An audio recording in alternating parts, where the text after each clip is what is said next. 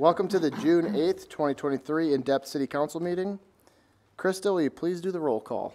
Councilmember Freilich, Present. Councilmember Osborne, Present. Councilmember Gordon, Present. Councilmember Brockert, Present. Councilmember Gendrich, Present. Councilmember Lewis, She's waving, she's present. Yep. Councilmember Hopkins, Present.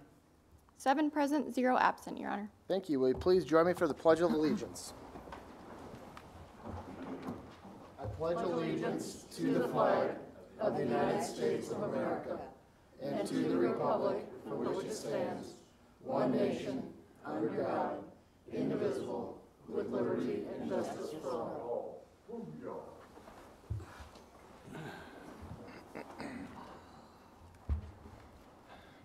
All right, and we have several items to discuss tonight. The first item is 4A is a discussion and possible direction to staff regarding the possible disposal of city-owned property on 8th Street.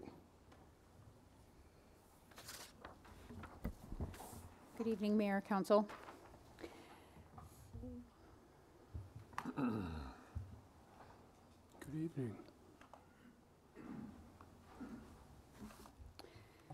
So we're going to talk about the disposal of the property we acquired on 8th Street as part of the um, West Hills Sewer Separation Project. So tonight's agenda, we'll talk about why we own this project, um, review any considerations for the possible disposal of the property, and then we'll just have some discussion and wait for you to give me some direction. And so we're looking for direction on should the property just be sold to the highest bidder, or should we take into consideration any possible priorities or preferences that might further other goals that the city has? So for background, um, this is the property that was purchased in um, January of 2021 with the goal to facilitate um, the West Hill Sewer Separation Project by, and this particular property was purchased because it was determined to be the safest um, route to, to conduct that sewer separation project.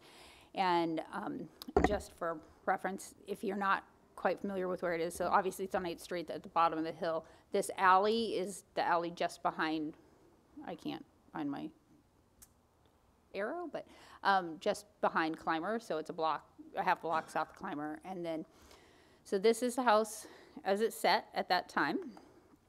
And this is the house as it sits now. Um, in May of 2022, there was a change order that um, included moving the building, building the foundation, and um, some code upgrades that were, are required when you do such work. And during that time, we, opt- um, the city council and the county adopted Ignite Vitality through workforce housing, the local housing plan that established these priorities that we talked about at the last in-depth meeting. And we um, also adopted strategies a little bit later that supported both in um, supporting home ownership and the rehabilitation of housing in the community. And then most recently, we adopted, or you all adopted, um, a property disposal policy at the direction of the, of legal counsel that requires us to go through a, a public bidding process and to market at fair market unless it furthers a different goal, at which time you have to outline that in the request for proposals. And so this is where we are today. Um, the property was actually almost three quarters of an acre. So um, once the house was moved to the back of the property, it was determined that there was actually enough property to um, subdivide it for a second lot, housing lot. And that's this picture up on the top shows what that lot is, is generally gonna look like. Not necessarily where the house would be. At this time, there was actually a proposal to, if we had to move another house, to potentially moving a house to that lot we already owned. And then um, this is just a picture of how the house sits on the lot now, as you can, oops, sorry.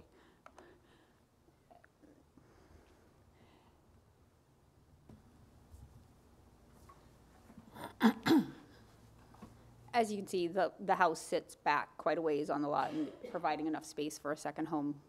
Um, And then this is how the house is oriented as well. And this is what it looks like inside. So in the middle of the picture is the basement that was constructed with the foundation and is very nice. Um, then this is, the other two pictures are pictures of the upstairs of the property.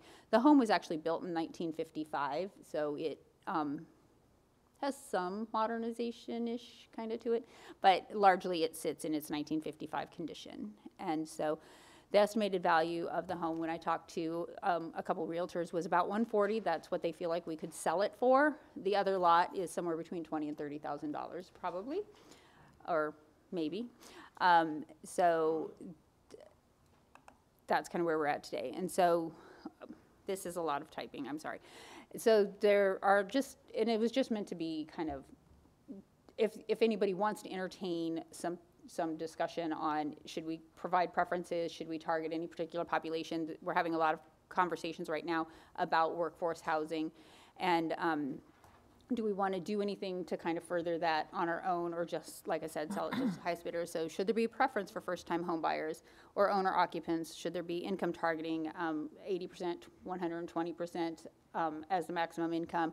When you talk about workforce housing, a lot of times, the, the, the de facto common denominator is sixty to one hundred and twenty percent of AMI. Um, in that, in that workforce housing need? And then, um, should there be preference for respondents to, that are gonna make, commit to making further improvements to the home beyond that one hundred and forty? Then should there be preferences, do we wanna work with a nonprofit to make those improvements if we wanna support that effort? Um, if we worked with a nonprofit, would there be an interest in equity sharing? So like, um, rebuilding our habitat, took it and invested some money to improve it, would there be any interest in kind of splitting the profits off of that with them? And then would council like to apply the same or different criteria for the vacant lot? Um, eh, You probably can't read it on my paper either. Sorry, I should have brought you a copy of it. Um, And I can go back to it, John. And then, so those are the simple questions, and we'll go back to those. Um, the next steps for us would be to develop an RFP in accordance with council's direction tonight. Um, Then we would receive the bids, and then we would come back and present that, the most appropriate bid that meets the council's goals. um, And then with the award of that bid and the documents to transfer the property from the city's ownership at that time. And then we're back to the direction shot, sought. So, So if we, what you mentioned about working with a nonprofit, like Rebuilding together, um, or Habitat for Humanity, if, uh, they were to work on it, they could sell it and it'd get back on the tax books as well? Yes, so once it goes back into home ownership, it will be back on the tax rolls. It um, would remove the property from our, from our ownership, and then they would do the work. They would invest that money. I'm not proposing to put any additional funds into it, just that we would, then it would be, there, there's still some desire, obviously, like Habitat, they're looking at a way to both further the goal, but also to do their next project. So they're, they look at, you know, how do they make a little bit of money off of it as well, um, to, just to reinvest, that kind of thing. Councilmember Osborne. You know, we did have Habitat in here last week asking for, you know, us to identify a property similar to this. I think this would be a good fit for that, but assuming we move forward, would we divide the property ahead of that? Or would we, you know, turn it over to, in any event, over to somebody and then, you know, expect them to come back to the city with a request to divide the property or? No, we're actually in the process now. Doing that Brian's now. team actually has a, is working with the engineers to do the subdivision, and so then we'll actually process the plat. Um, We're hoping in July to have that, that separate, that new plat adopted, and so then it would go, and we wouldn't actually go out to bid, we wouldn't release the RFP until we actually have the legal description of both parcels. Okay, well, I'm, you know, normally I would want to see the, you know, the market go. Um, however, in this case, you know, we have had this request. We have a history with the organization of being successful and very quick about turning properties over and getting them back on the tax rolls very quickly, which is the ultimate goal. Councilmember Gordon. Okay, I mean, we might have to have a plan A and B because they may not be interested because they traditionally build Yep. from stick. And this home needs more work than what we're seeing uh, because the move was the foundation, as I was told a couple weeks ago, the inside is not completed. It looked like we saw an appliance in that picture. Is that A still there? refrigerator. Yeah, lone refrigerator. Um, So it's foundationally set, but the, the interior is going to need work. So talking what, forty to seventy thousand dollars probably in finishing on the inside. Uh, And we haven't seen what the bathrooms look like and the utilities and the kitchen and just the basic uh, things. So if we sell it at 140, I mean, no matter what, it's going to get back on the tax rolls. That's our goal. Um, And if we sell it at 140 as is, somebody's going to have to finish it, whether it's them or Habitat. Um, I'm, I just, I'd rather just get it on the market. So, in the interest of full disclosure, and I'll watch my boss and see if she starts shaking her head at me, was that we actually, before we had had the discussion about the new policy for the disposal of property, we actually had, I had a conversation with Habitat, and they are interested in cha, in expanding their model. And, um, we talked about it at that point, and if, if it's fixed, it'll sell for probably about one seventy just due to the neighborhood constraints, right? But, um, I actually don't think there would, I, at one forty, the, the feeling with the people I've talked to is that there won't be a lot of actual direct reinvestment to improve the value of the property by the home buyer, if it's an owner occupant. That was my thing. I, I just, I think it's, over. I think for anyone to buy it for one forty-ish and put the right amount of effort into it, it's probably gonna price itself out of the available market in that area. I mean, you have to consider there's no driveway yet. I mean, there's some things outside that you'd have to do, so, Yeah, There, there is a lot of, um, landscaping work that would have to be done to, be- to, to make it a livable space. I- Councilmember Brockert?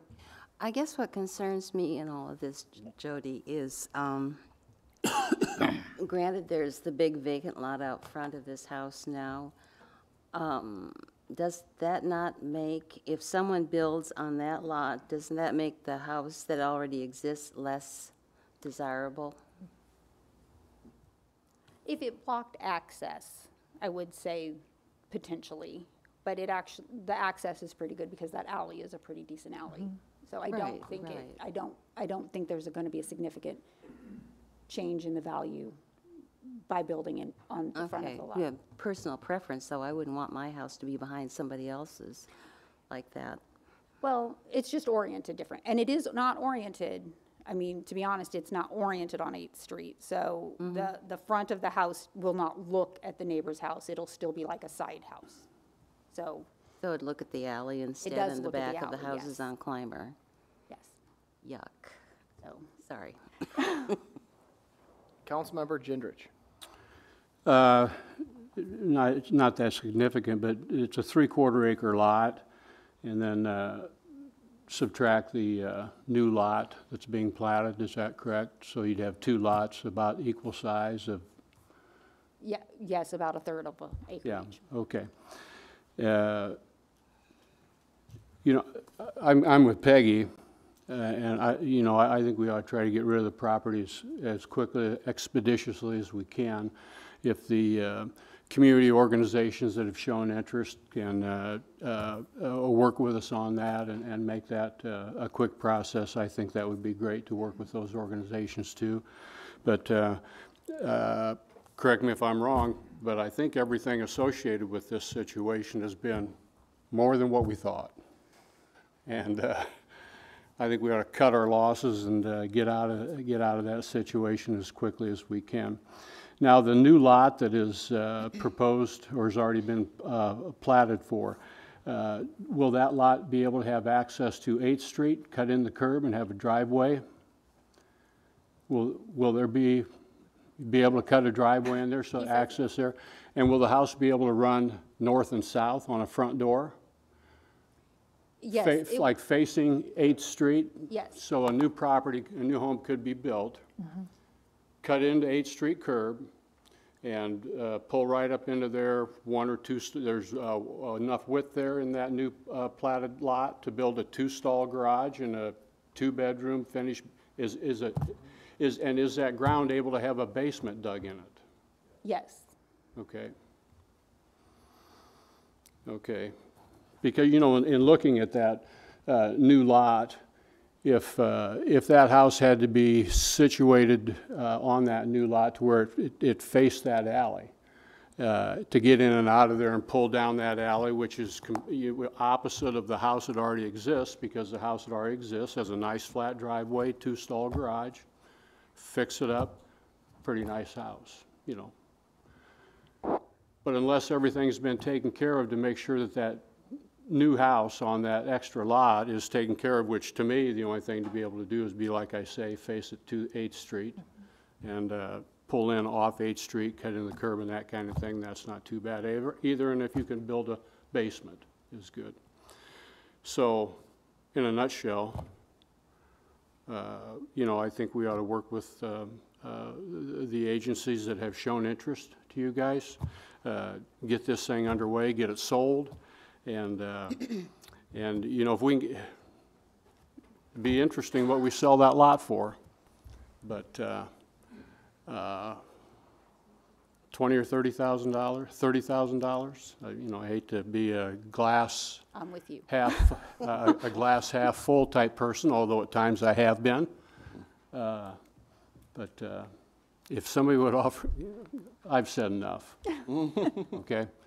Any questions, Mayor, on what my direction is, I guess? I think I know your direction. Okay, yeah. Thank you. And, and Peggy, I hope I, I Oh, brought absolutely. you into this conversation appropriately. I love it because when you do, I think we ought to get it going and get out of it. I, I think we need, again, it's an A and B. So A would be, we have a conversation with the agencies to see if they're interested and give them a short time frame. We're not gonna sit on it another six months, so whatever that short time frame is. If they choose not to, which is possible, we get it on the market and we sell it. Do you know about how long it would take for them, if they are interested, to actually start and like a time frame? They, so, from our early in the year co- conversations, there was a discussion about if they were to get it, the goal would be to have it occupied by a partner family by late this year. Okay. Is that what you were gonna? Nope, I'm good. All right, so is council okay with uh, them seeking basically, uh, what was the, what was the terminology you mentioned? An agency? An agency, is council amenable to that? That's fine? Okay. All right. Thank you. Let's start down that path. Yeah. You don't think so? Angie?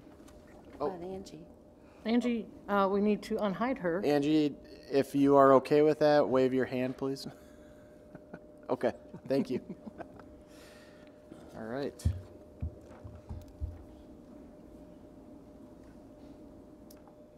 And next, we will review, review of feedback from contractors meeting on the proposed building code update and next steps.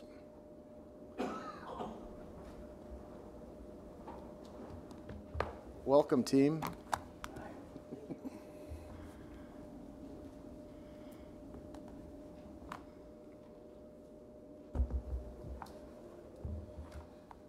Council, Mayor. Oh. Council, Mayor. Carol, I'm sure you guys remember us. Uh, my name's Nick. I'm one of the building inspectors here for the city. Uh, I'll start us off and then hand it off to one of the other guys here. Uh, our agenda is we're just going to give a quick overview of the process. Uh, we're gonna go over what the uh, what the responses were and what our proposals are for those responses from that contractor meeting we had here uh, a month or two ago. Uh, and then we'll have an overview of the next steps after that, uh, outside of, it, kind of in tandem with those responses. And then uh, we would, of course, like council feedback. We would like council feedback.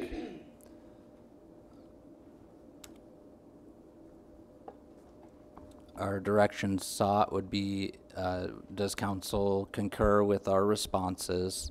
And then is there any additional feedback that council would have?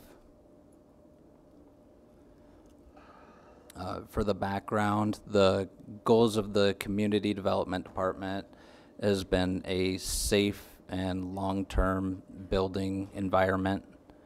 Uh, We, the fiscal year '23 department Uh, Work plan includes the adoption of the 21 versions of the International Code Council family of codes. Uh, February 9th was that presentation to the council, and then April 5th was the community meeting where we discussed some of those code items. At that meeting, the attendees were asked three questions. What is currently working well? What up, what opportunities exist in using the new 21 codes? And then what other thoughts or questions should, be considered? That meeting was open to contractors and the general public and then council as well.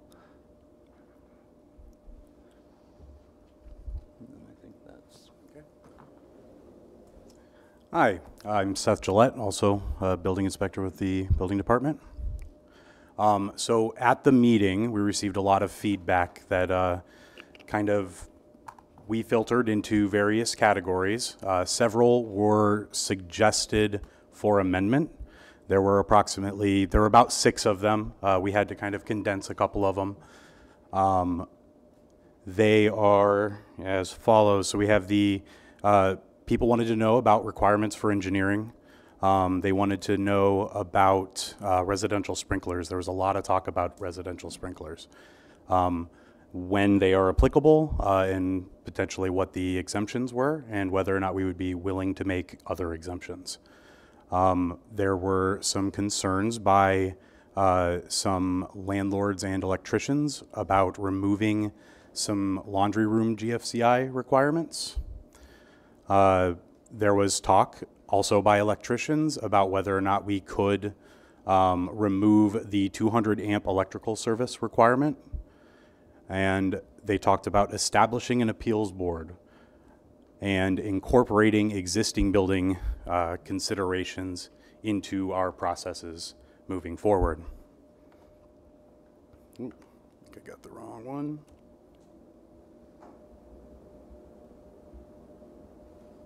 There we go. So regarding the engineering requirements, uh, there was a lot of talk about post frame buildings. Uh, currently, our post frame building, uh, currently uh, build post frame buildings that are over a thousand square feet, or uh, the post spacing or the sidewall height uh, greater than 13 feet, or a post spacing of eight foot on center. Uh, that's our current requirement for when we require engineering for post-frame buildings. Uh, we have discussed proposing an amendment to exempt post-frame buildings up to uh, 1,440 square feet instead. Uh, we found that this may align more with the size of buildings that contractors typically uh, seek to install, um, and we don't believe that there's an increase in the risk. Uh, regarding other buildings and their engineering requirements, we are still deferring to the state's engineering and architect requirement matrix. Uh, for the residential sprinklers, um, primarily the talks were about a, uh, a assisted care facility or residential care facility here in town. Um, since then, on May 2nd, uh, state law has enacted a new exemption that removes the issue entirely. Um, those types of buildings are now solely handled out, out of the residential code, no longer out of the uh, building code. The laundry room GFCI requirements, um, so this is specifically related to our rental facility maintenance code. Um, it will be considered late, later, later when uh, we are planning revisions to that section. Um, the electrical service requirements. Uh, so currently, Muscatine Power and Water uh, has a standard of 200 amp electrical service for residential uh, dwellings.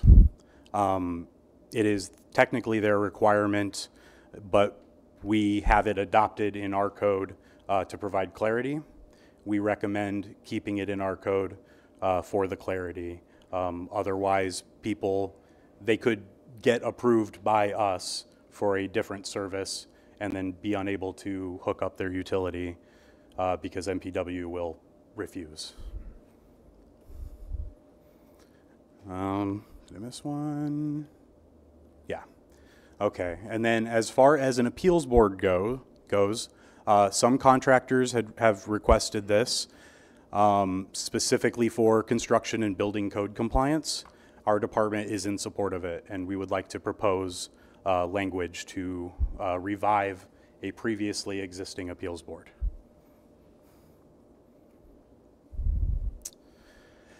And lastly, our existing building considerations. Um, so there are certain challenging challenges in renovating older buildings to comply with our current codes. Um, specifically re- uh, having to do with fire assemblies and separating different occupancies, um, and potentially adding sprinklers. Uh, currently, we use the existing, the international existing building code uh, for such projects. Um, and we use those because they, they guide us based on the, the amount of work that is planned for the project and the changes in the occupancy, as well as potentially any changes in um, accessibility or egress pathways. Um, the, we would recommend using, uh, sticking with the international existing building code, um, primarily because it already takes into consideration the uh, changes in the time, the building, the building methods, and the furnishings are a lot more uh, flammable these days, and the, the smoke is a lot more toxic. Um, so there's a lot of considerations that are already available to us when we review such buildings.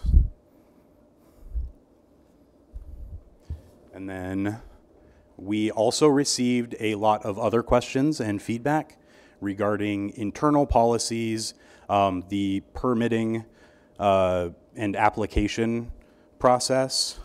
Uh, there were a lot of questions regarding um, licensing of contractors in town, uh, how we're handling unlicensed or, um, for lack of a better term, uh, bad contractors, uh, contractors who are doing uh, poor work.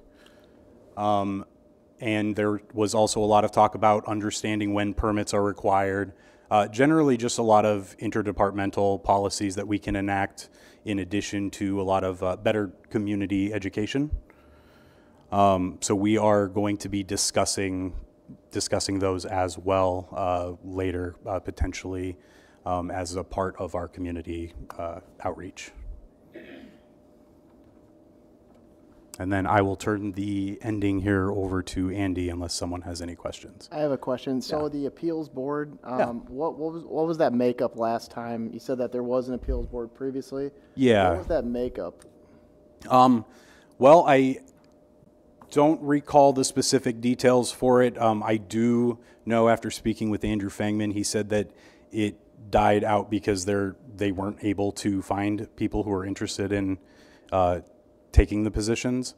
Um, we were potentially looking at having uh, uh, tradesmen uh, so like an, elect- an electrician, a plumber, uh, mechanical expert, uh, various contractors.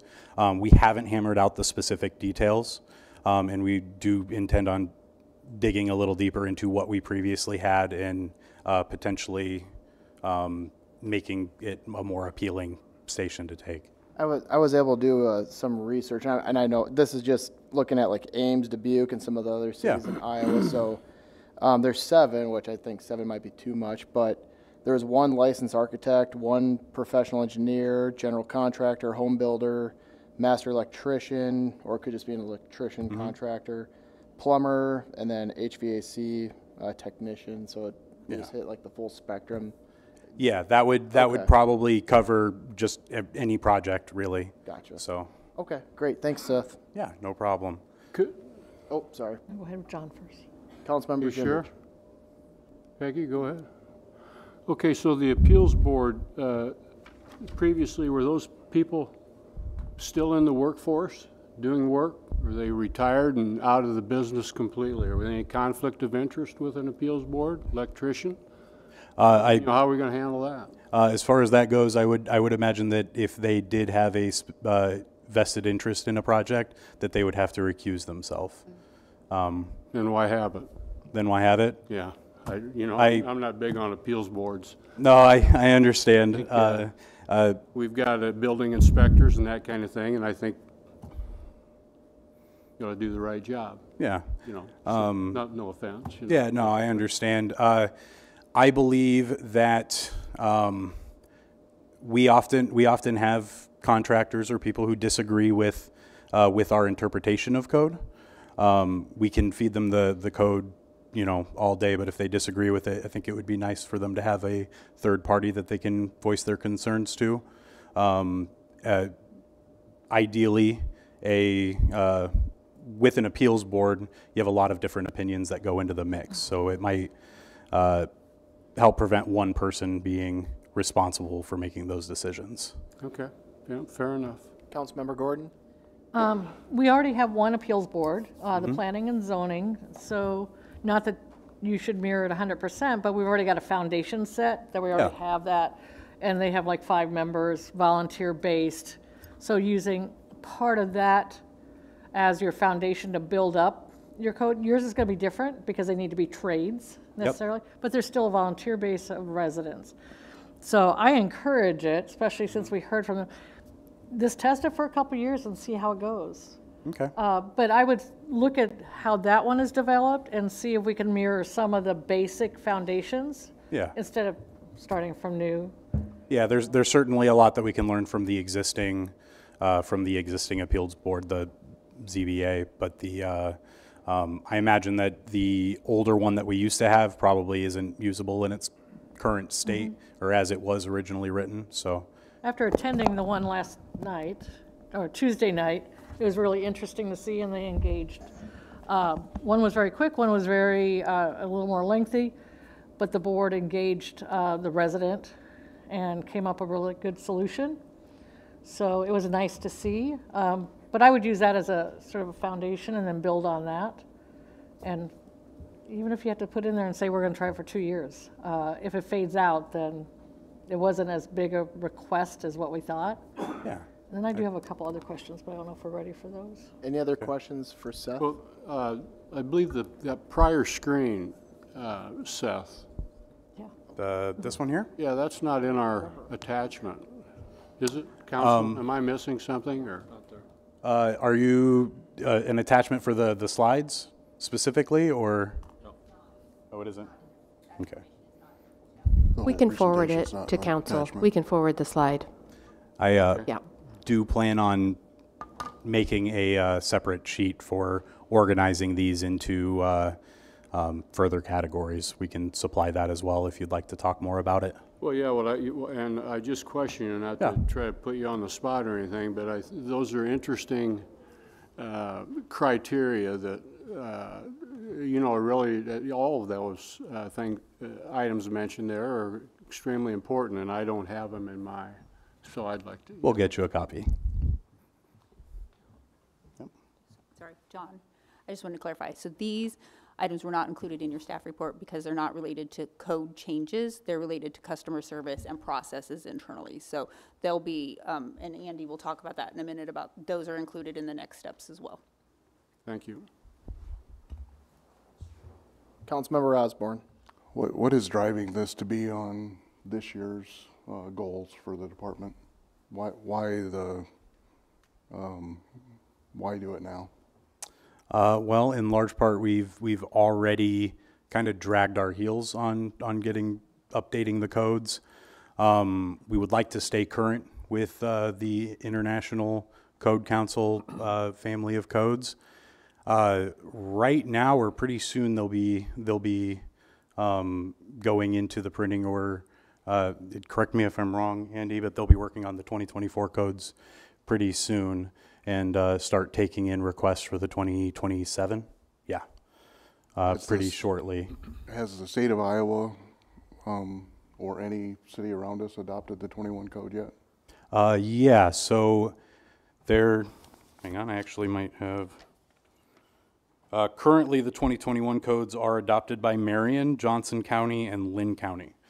Um, Davenport and Bettendorf have adopted the codes uh, per the state, strictly per the state.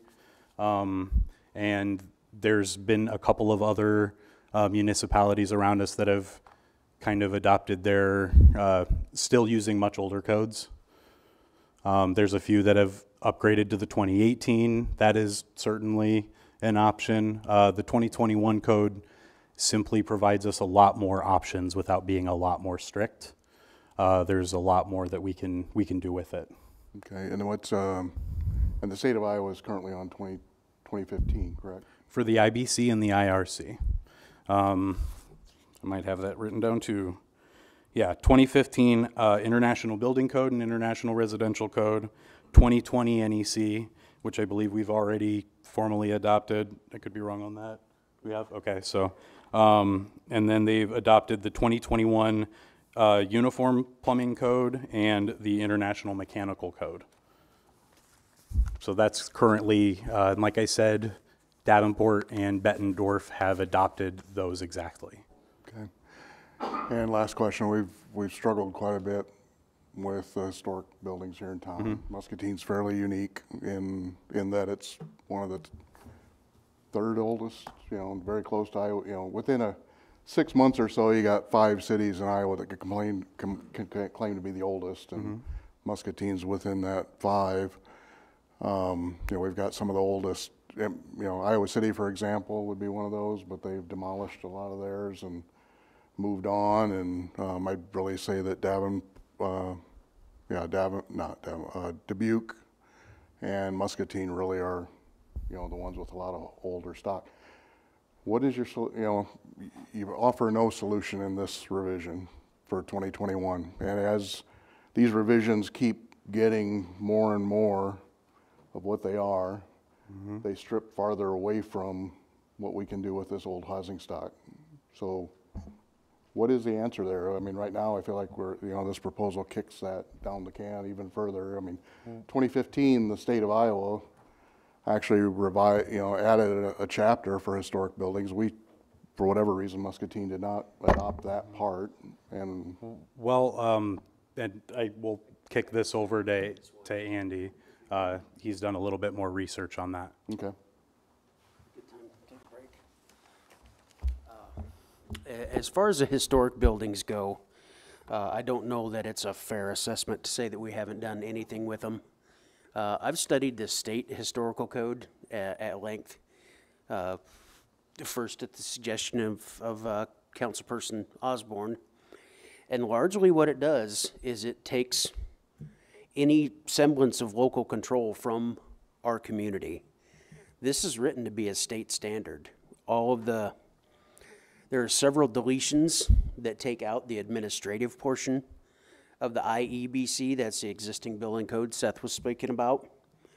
Takes out the administration, takes out our, our rules for issuing permits, for inspecting the work, for making sure it gets done properly, and it assigns that all to the state. And that's primarily done for jurisdictions that don't have any sort of building codes. A lot of cities don't. Uh, at last count, I knew of uh, 11 out of 99 counties that do have building code enforcement. So this is primarily written for all those areas. What this does adopt is the 2015 International Existing Building Code that we do with, with one basic exception is that it deletes most of the accessibility that's in the IEBC, and it converts that to a state standard. Uh, From what I read, I didn't get a chance to study that state standard at length, uh, as much as I would like to. But it truthfully doesn't change much. It just changes the places we look for those answers. And that's, that's the best assessment of that that I can give. Uh, I've got, I did print off a copy for myself because I was studying, studying these this afternoon. Chapter 301 uh, of the State Building Code, that's the administration that we would have to follow under this, but we don't really have any authority to because it's all state of Iowa. It's not city of Muscatine. And then uh, the accessibility standards. And these are just the directions to use when you get to the state code, to try to look those up. Council Member Osborne had a quick question. Sure. I just want to make sure you're, you're complete first, though. Yeah, yeah, I think, Okay. I think so. Go ahead. So I'd like to say that the characterization that it takes control away from Muscatine is, is also not accurate, in my opinion.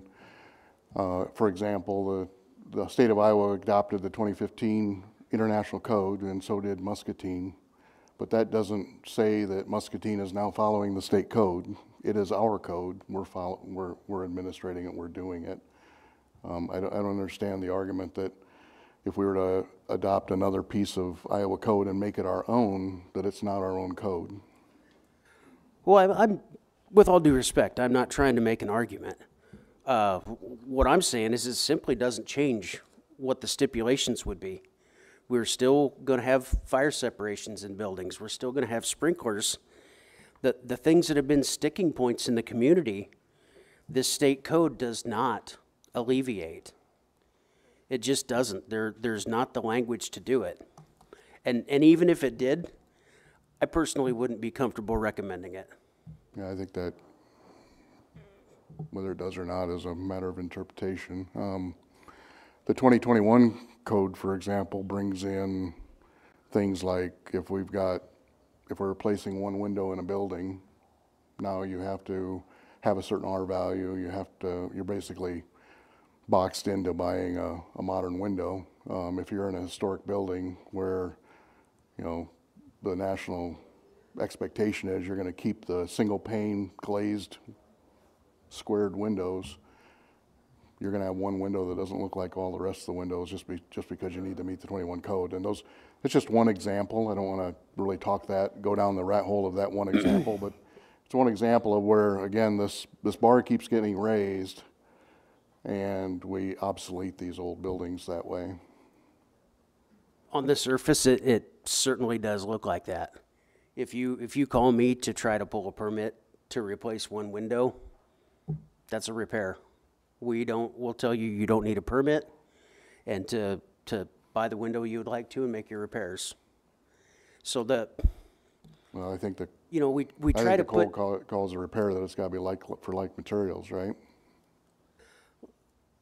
Uh, okay, so a a forty by but- forty-eight window is a forty by forty-eight window. As, as far as we're concerned, as far as the code is concerned, that's a repair. But that's You not know, like for with, like materials. if we got into all of the fine details of every decision that we make on a daily basis and tried to put it in ordinance form, our ordinance would fill this room with paper. We cannot simply put a box around everything. There's gotta be some discretion, and that's where, that's where the building division, our staff, need that little bit of leeway. Those codes are written gray intentionally because you're never gonna, you're never gonna be able to make everything fit inside that box. You know, the, the state code, as far as historic buildings, still comes back to, you know, if the building def- official determines it's unsafe, then it's unsafe. If the building official approves something, then it's approved. You know, we, we can't write down every scenario in which we could approve something. It, it truly is a case-by-case basis. Councilmember Gordon has a question. And I'm sorry, this is off topic of what you're talking about right now. Um, I had a resident that had a question that sent to me, if that's all right as a breaking point right now? Okay, cool. Um, And she had two questions. One was about solar installation, and I know we're going to be talking about SolSmart coming up in the next few months. So I think she'll see some positive things there. But one of the questions from the resident was, are there any, anything in the code about energy efficiency requirements when you're making new construction or, Uh, Yes, there are. Uh, In, in the IBC, there's a chapter dedicated to commercial energy efficiency. And uh, I believe Chapter 11 in the IRC also is, uh, is energy conservation code, and we, we have a separate, a separate code book. It's a 2021 International Energy Code Energy Conservation Code, I'm sorry. The state has adopted a 20, the 2012 version of that as the minimum. And that's the bar that we use currently. Nine years old, so. Um, And do we sort of administer to that, the 2012 or the 2021 code? Uh, f- for that particular code, it's, it's the 2012, that's a state minimum. I don't believe we have it adopted officially. Okay. That's what the state tells us we have to enforce. There, uh, she was just concerned that we're, you know, we're moving towards improved energy efficiency and everything like that, and making that that voice is heard. So, and then her other topic was solar, but I think we're bringing forward that topic pretty soon, so. Yes. Just want to make sure that that was heard, so thank you. And I do want to say one other thing, on your categories here on your parking lot, a lot of lean opportunities there and categorization and grouping. You're not going to do them all at one time. Pick one or two and work on them and start getting them done. That's a great start. Yeah, I'm, getting them down, you know, on paper, on a list, I think is a big step. Uh, we heard a lot of things that I don't, I'm not sure we were prepared for, but we also heard a lot of things that we didn't necessarily, uh, didn't get a surprise from. Go after your low-hanging fruit and book a success, and then Yeah. go after the tougher one. Yeah, we've, we've talked about that a bit. We like quick wins when we can get them, Okay, thank you. so, yeah, thank you. Councilmember Gordon, may I just, just for the public, point out that um, solar, you can already do solar panels. The MPW does have a program for that, and they do support um, homeowners who wish to have um, rooftop solar, so that is available. Yeah. Thank you. Thanks for reminding me, City Administrator. I guess, uh, at this point, as good as any to ask if, uh, if we could get a concurrence or some feedback about what you'd like to see, if you'd want us to come back, or if we're, or if we're on track to come back with ordinance language. Councilmember Osborne. I'd like to seek council support for a couple of items. Um, The state of Iowa has not yet adopted 2021 International Code. The state is currently using 2015 International Code with state-specific chapter for historic buildings. I'm asking the council's support to begin the process to adopt the state of Iowa's Historic Building Code, Chapter 350, 61 661, it is a ready-made chapter and verse to be adopted immediately in Muscatine's current code with title and no, with little modifications. If desired, it can be adjusted to 2021 code at some later date.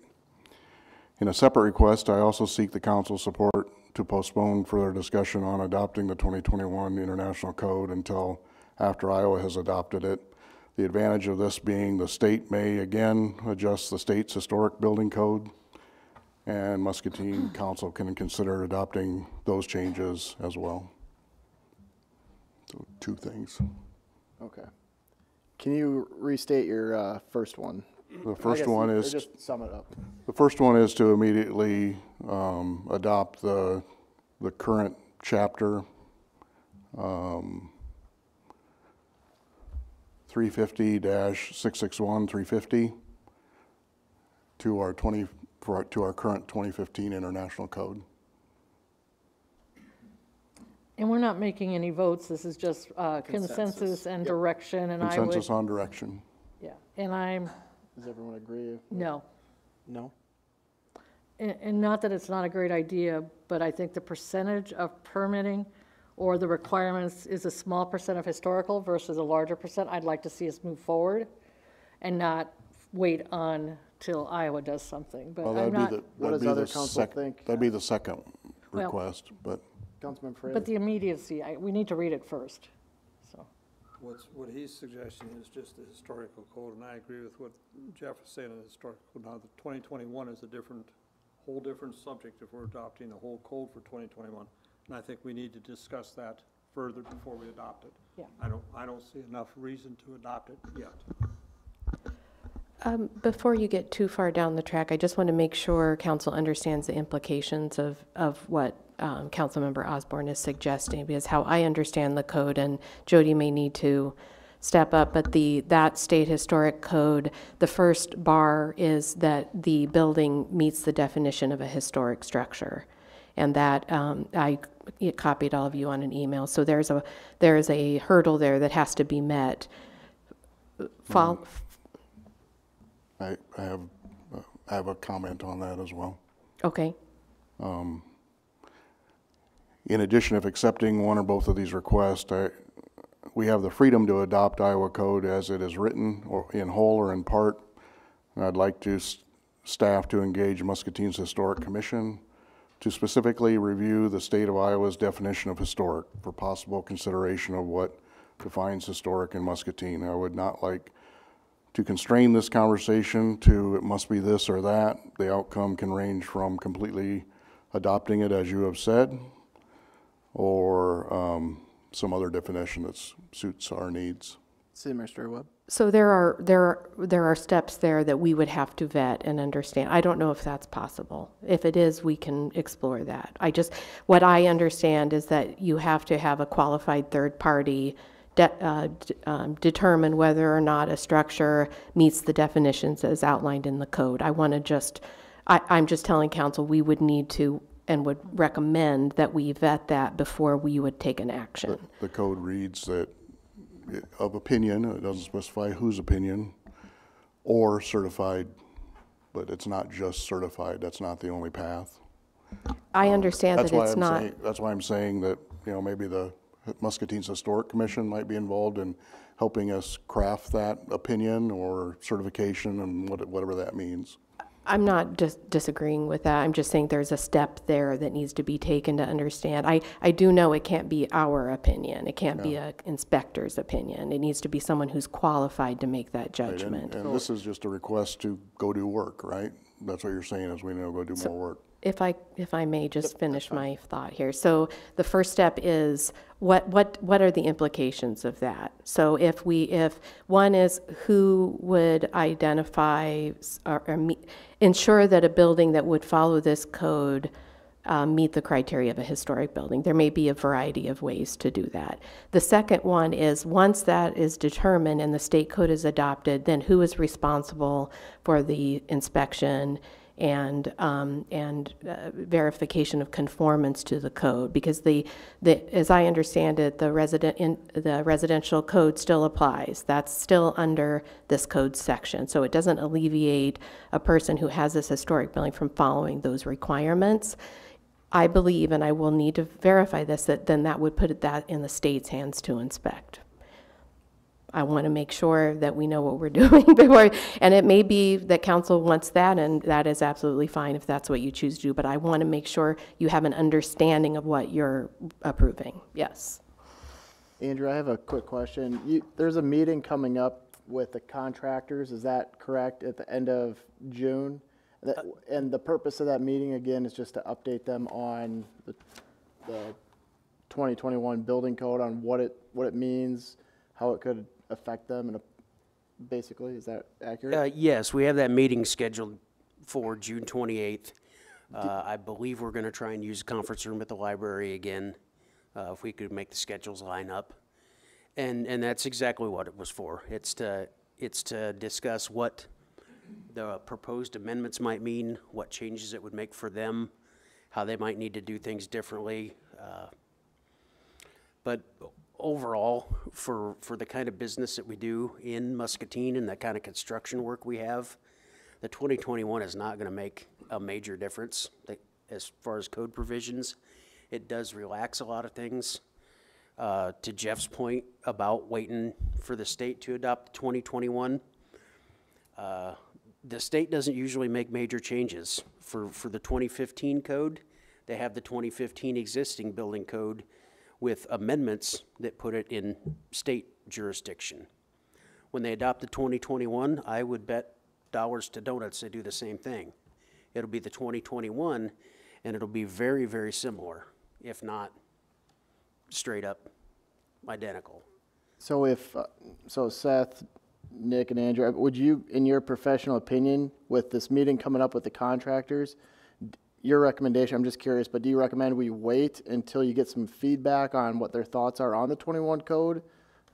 Or Just, Well, I. just your, your opinion, that's what I'm curious You know, I on. don't, I don't know that we're really asking for feedback. That's more of an education and outreach opportunity. Uh, We've found from, from past instances that it's, it's much better to, to talk about that before they come in with their design and their permit application.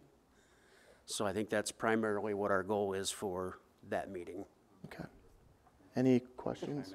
Councilmember, oh, Real, real, real quick, um, we would like, also like to take the opportunity to find out specifically what contractors are interested in, um, in terms of the changes.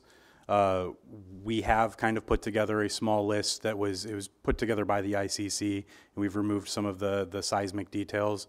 Um, I would like to bring the, uh, significant changes books and go over, uh, allow them to read the index of that book and find out if there are any specific concerns that they may have.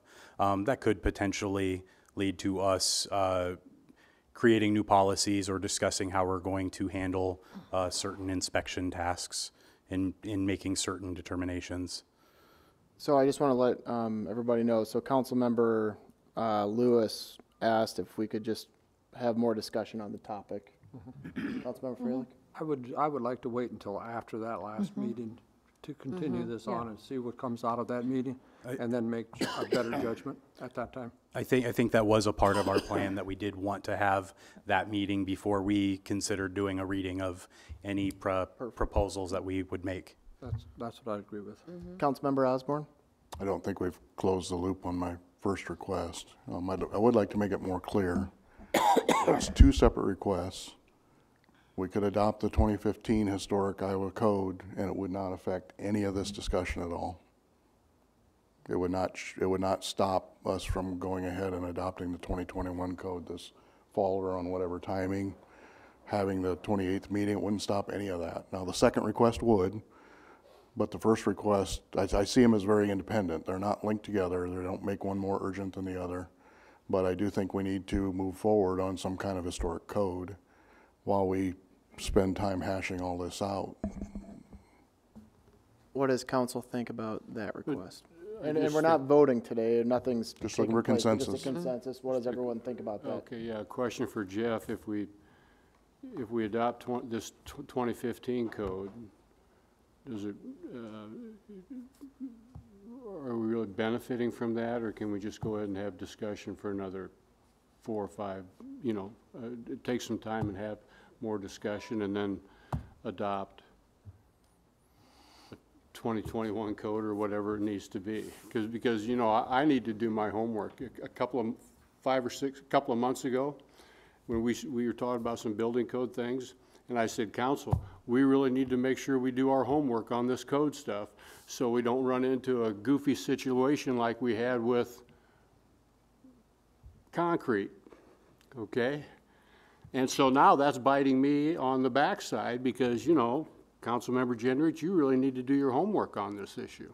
And I haven't done it, so I need more information Yeah, before I move forward. and- I need and I- more y- information y- on You know, both. and I, On, on both, on both Yes, topics? yes. Okay. Um, anybody, More info. more info? All right. Yes. I almost said Councilmember Hartman. Welcome. Okay, Mike Hartman with the Fire Department. Uh, Just a couple of things as you're, as you're discussing, uh, a few things I want to kind of help clarify, kind of toss out there on the fire code end of things. Uh, Number one, the historic building, yes, that, that's part of the state code. Uh, I have not delved into it very deeply. My, my first view of it is it looks like it wouldn't do a whole lot for us. But as far as looking at that as an option, you know, obviously, we're, we're open for anything. Right now, uh, one thing to keep in mind, with that, it refers back to the IEBC Chapter 11, or Chapter 12, I think it is, Historic Buildings. So we already have something in place in the existing building code that deals with historic buildings. Uh, As far as trying to hold off on updating uh, to the 2021, a couple of things with that. You, you were concerned about the state fire marshal is still on the 2015 code. Little insight to that. They have been trying to go to the 21 for at least two, I believe, three years. The reason they haven't, they didn't do it this year, because during this session, uh, state government re- was reorganized. So it was improper for them to try to change something that may or may not be in their area of expertise. Last year, uh, kind of the same thing happened. There was discussion of reorganizing state government, so they held off on trying to get that approval process. But they've been trying for, for a couple of years. A few other things with that. Uh, the, the 2015, as far as, as certification, uh, it is old enough that the International Code Council, I cannot be certified, I cannot have one of our new guys be certified as a fire inspector for the 2015 code. It's no longer there. Uh, it's, it's just too old. Uh, For the fire code. We're yes, for the fire code. We're talking about the I'm- building code today, though. Right, Our topic today is the Right. building code. yes, but I, I'm trying to give you Now, some insight. I just want people to be confused that we won't be able to certify people to do inspections if we don't change the building code. There is a sunset on the building code certifications as well for obtaining the Okay, all right. So the, that, that is one concern I have. Uh, if you're talking about holding off on adopting the, the 21 code, you just talked about solar, uh, solar installations. The 2015 code requires a lot more things for your homeowner that has solar, as far as access, how much space you can have, uh, where you can put the panels, all that kind of stuff. Over the years, they've learned from it and they have loosened up a lot of the requirements. And that, that's an example of solar. I think there are some other, other items with that as well. Uh, another thing as far as uh, the batteries. Batteries is a, a fairly uh, topical topic, if you will. Uh, the Stanley Center for, for Peace, uh, they have brand new batteries. They have, they have new, new technology there. The 2015 code does not address anything with that because the technology is too new. If we stayed with the 2015, we cannot address what we're seeing in the community now. Uh, so those are a few other things to keep in mind. Okay, I'd Um, like to, and- I'd like to speak to that, though. and, and I can go ahead and, and go around and do some, some uh, checking to see what other jurisdictions are on as far as the, the, the code cycle and all that. I know fire code, I have a, a pretty good idea. Um, most everybody is on the 18 or moving to the 21. Not everybody has. Um, but I'm not sure about the, the building code or the other codes. I can only speak to the fire Okay. code. Uh, Dubuque, you brought up Dubuque. Dubuque is on the 21 code already for that. What do, they- well, that's another topic. I think we're making this into a conversation of 21 versus 15. That's not my proposal. I'm not arguing against the 21 code. My, my second request, its only advantage is that if Iowa adopts it, they are also going to probably update their historic code chapter and would keep us from doing that work. Now, if we adopt the 2015 historic chapter early, now, feel free to, when we adopt the 21 code, to also change that historic chapter as well. Move forward with the 21 code, but the only advantage is, you know, why have Muscatine do that work and the state of Iowa do that work? You know, maybe there's some synergy where the state of Iowa do that and then we just adopt what they did Right, again. and- and And quite again, I'm honestly, I- not, I but don't I'm not if- arguing against the 21 code. There are advantages to it. I see them. Right. But I also am not going to approve any changes that don't address some of the issues we've been having with our historic properties. We have a very strong will to, in this community, to save our historic properties. We get complaints all the time that we're letting them fall down, demoing them, and all these other things. Um, And we're just continue to fail to, to do anything about that. You know, So- Yes, we've got some success stories with, with HNI and the McKee Button Factory, but we also have these small one thousand square foot stores downtown that continue to go vacant. And it wasn't just two years ago, we had the back end of one of them fall down into the alley because it's empty. That's dangerous. Mm-hmm. So if we go back to the original, so it seems like the consensus is to gather more information. Is that still accurate then? Le- How are we gonna do that, though? Is each of us gonna do that on our own, like we have been, or are we gonna try and bring in somebody to help us through this? So the specific issue is related to historic buildings and, and feeling like the, the state has adopted something that is substantially, substantially addresses that concern. Just because the state has it, rather than relying on the state to continue to do that, we can go through the code. We can go through these pieces and like, if you feel like these pieces that they've deleted are the key pieces to delete to make historic preservation, the preservation of historic buildings successful, we can come back and tell you what all of those are in the local code. We can, we can actually outline, But this is even what have it. section one oh one point five means. I made that specific request already, and, and No, since before I. but today we got this, and this is what you said was successful. So in this, they're adopting, they're, they're using the International Existing Building Code. We can go back and find the 2021 version of what this is and I make haven't changed my request since before April. This is what I requested before April for staff to look at, in that meeting. Okay, where I all- apologize if I did not see section 350 e- ever, that I did, I did not know this. I have not was changed my specific. request for months. I know you've asked for historic stuff, uh, This for that. specific And that's what I'm saying, is I'm, I'm not arguing, I'm just saying, I did not, I did not rec, I did not hear this number, this state reference, so I'm sorry that we missed that. But we can do that. We can go through and look at it and be like, this is what it means in the 2021. This, in the existing, in the, existing building code for 2021, this is what that would be. And if it gets to where, so that, so that we have something that's comparable to this state code. I hope we can do better than that. I've been looking for better than even that, but at least this gets the ball rolling. Um, but I have asked for this since before, I don't know, when was that meeting we had with all of you in the room, with Carol in the room? I, I cited that document and asked for, how does this compare on the 2021 code? And I still don't have that answer. So, City Administrator Webb, did you have? Well, we, we have talked about it, excuse me, we've talked about it at length. Uh, I told you that it, that it really didn't make many changes, and that is absolutely true. I did not know you were asking for a line-by-line dictated, what's the difference I'm asking here? for something that addresses the issues we're having.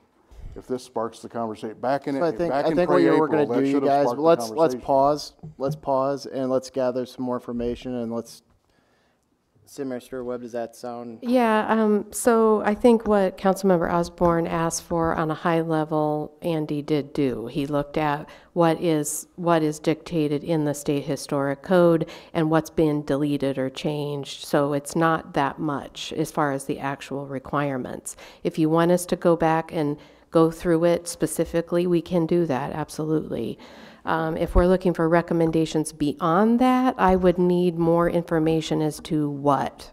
What are you looking for? So we can certainly, when you say get more information, we can do that. It Um, seems like that's the consensus yes. of most of the council. Is that, So, is that okay with the council? Yes. To and I think that would inform council is, do you want to do something as far as adoption of the state code, or do you just want to work within our existing code? Is there something within our existing code that we need to do? The other part I'm hearing is that you want to wait until after we talk to the contractors with the substantive changes book to reconsider adopting the 2021 codes. So we will plan a work, an in-depth discussion. Uh, You know, I'll have to talk to the team about how long this work might take. I know their meeting is end of June. So we might be looking in at the in-depth in September, probably. So is council, Yeah. is the consensus okay to wait until after the meeting with the contractors? Yes. Majority?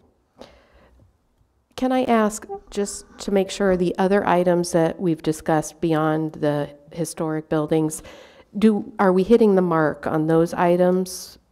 Are you, or I'm just making sure that we're headed in the right direction with some of those other issues?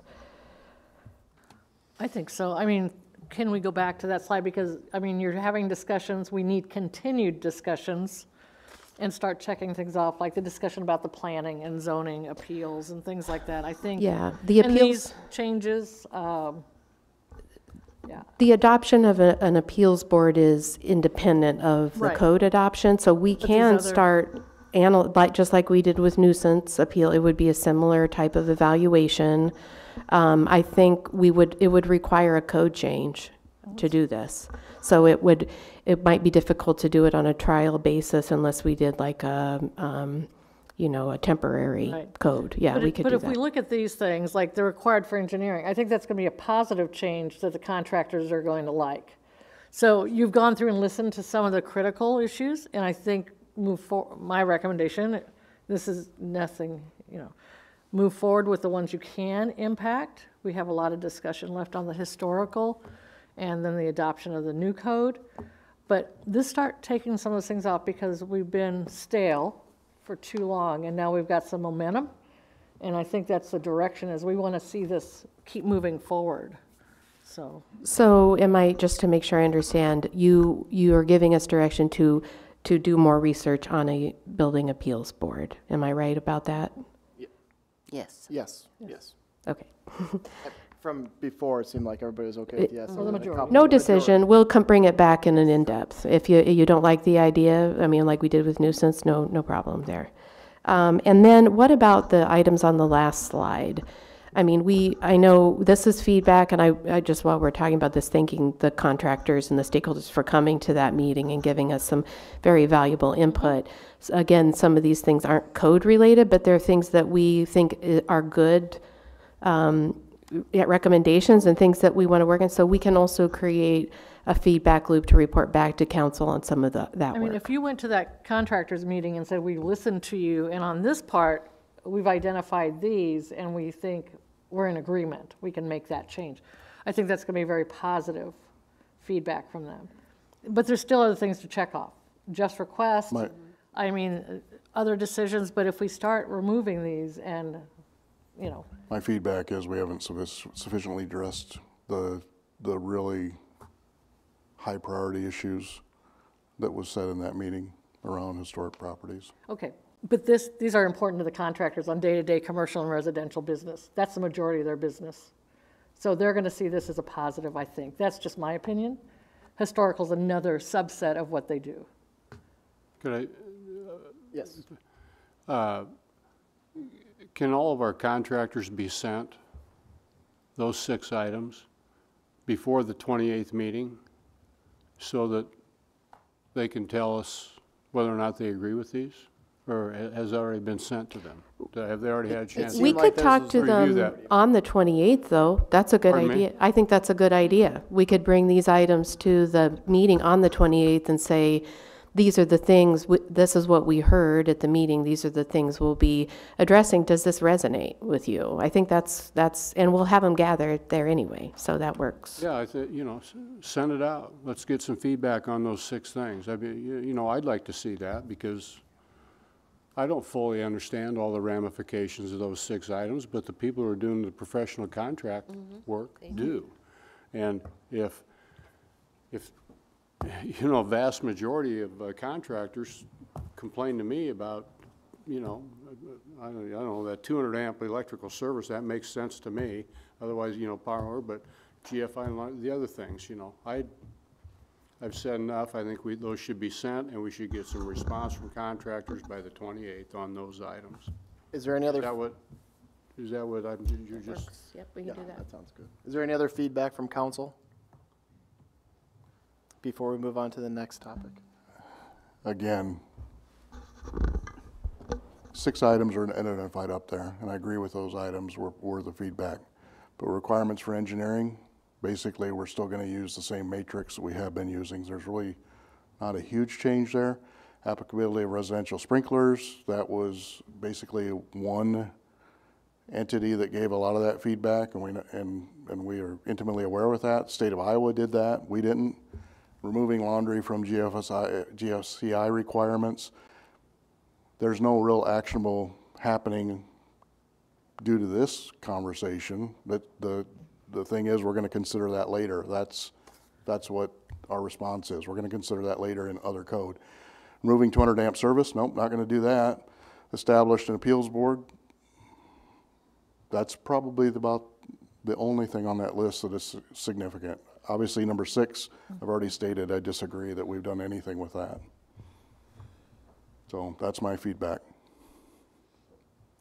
Andrew? If, if I could ask for some clarification, uh, saying we need more information, that's a pretty broad stroke. Uh, I would invite any of you, all of you, to email me a list of your questions or any piece of information that you don't feel that you've gotten from our discussions, and I'll be glad to answer those. Does that I can, okay, I can council? respond That's fair enough. to, to, you know, whole or in part or individual, however you'd prefer. That sounds great, Andrew. I would, I will definitely look forward to those. Thank you. Thank you for your We, feedback. any of that, I would want all the council to see, so we can collect that and make sure all the council is caught. I don't want any council member to have more information than another, so we'll make sure everybody has all of that info. Sounds great. All right.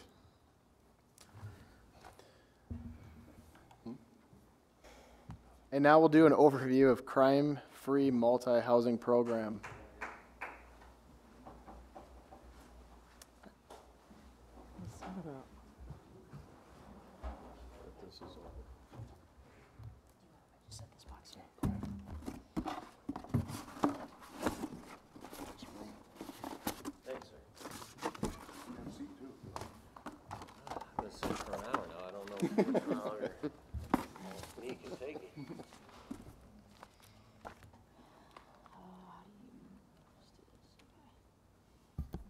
Okay, so I'm Nicole Sink. Um, I'm a detective with the Street Crimes Unit here in Muscatine. Uh, this is Lieutenant Vince Motto. Um, the past few months, we've been- both been working together on this crime-free multi-housing program. Um, so the program consists. Whoops, sorry. There we go.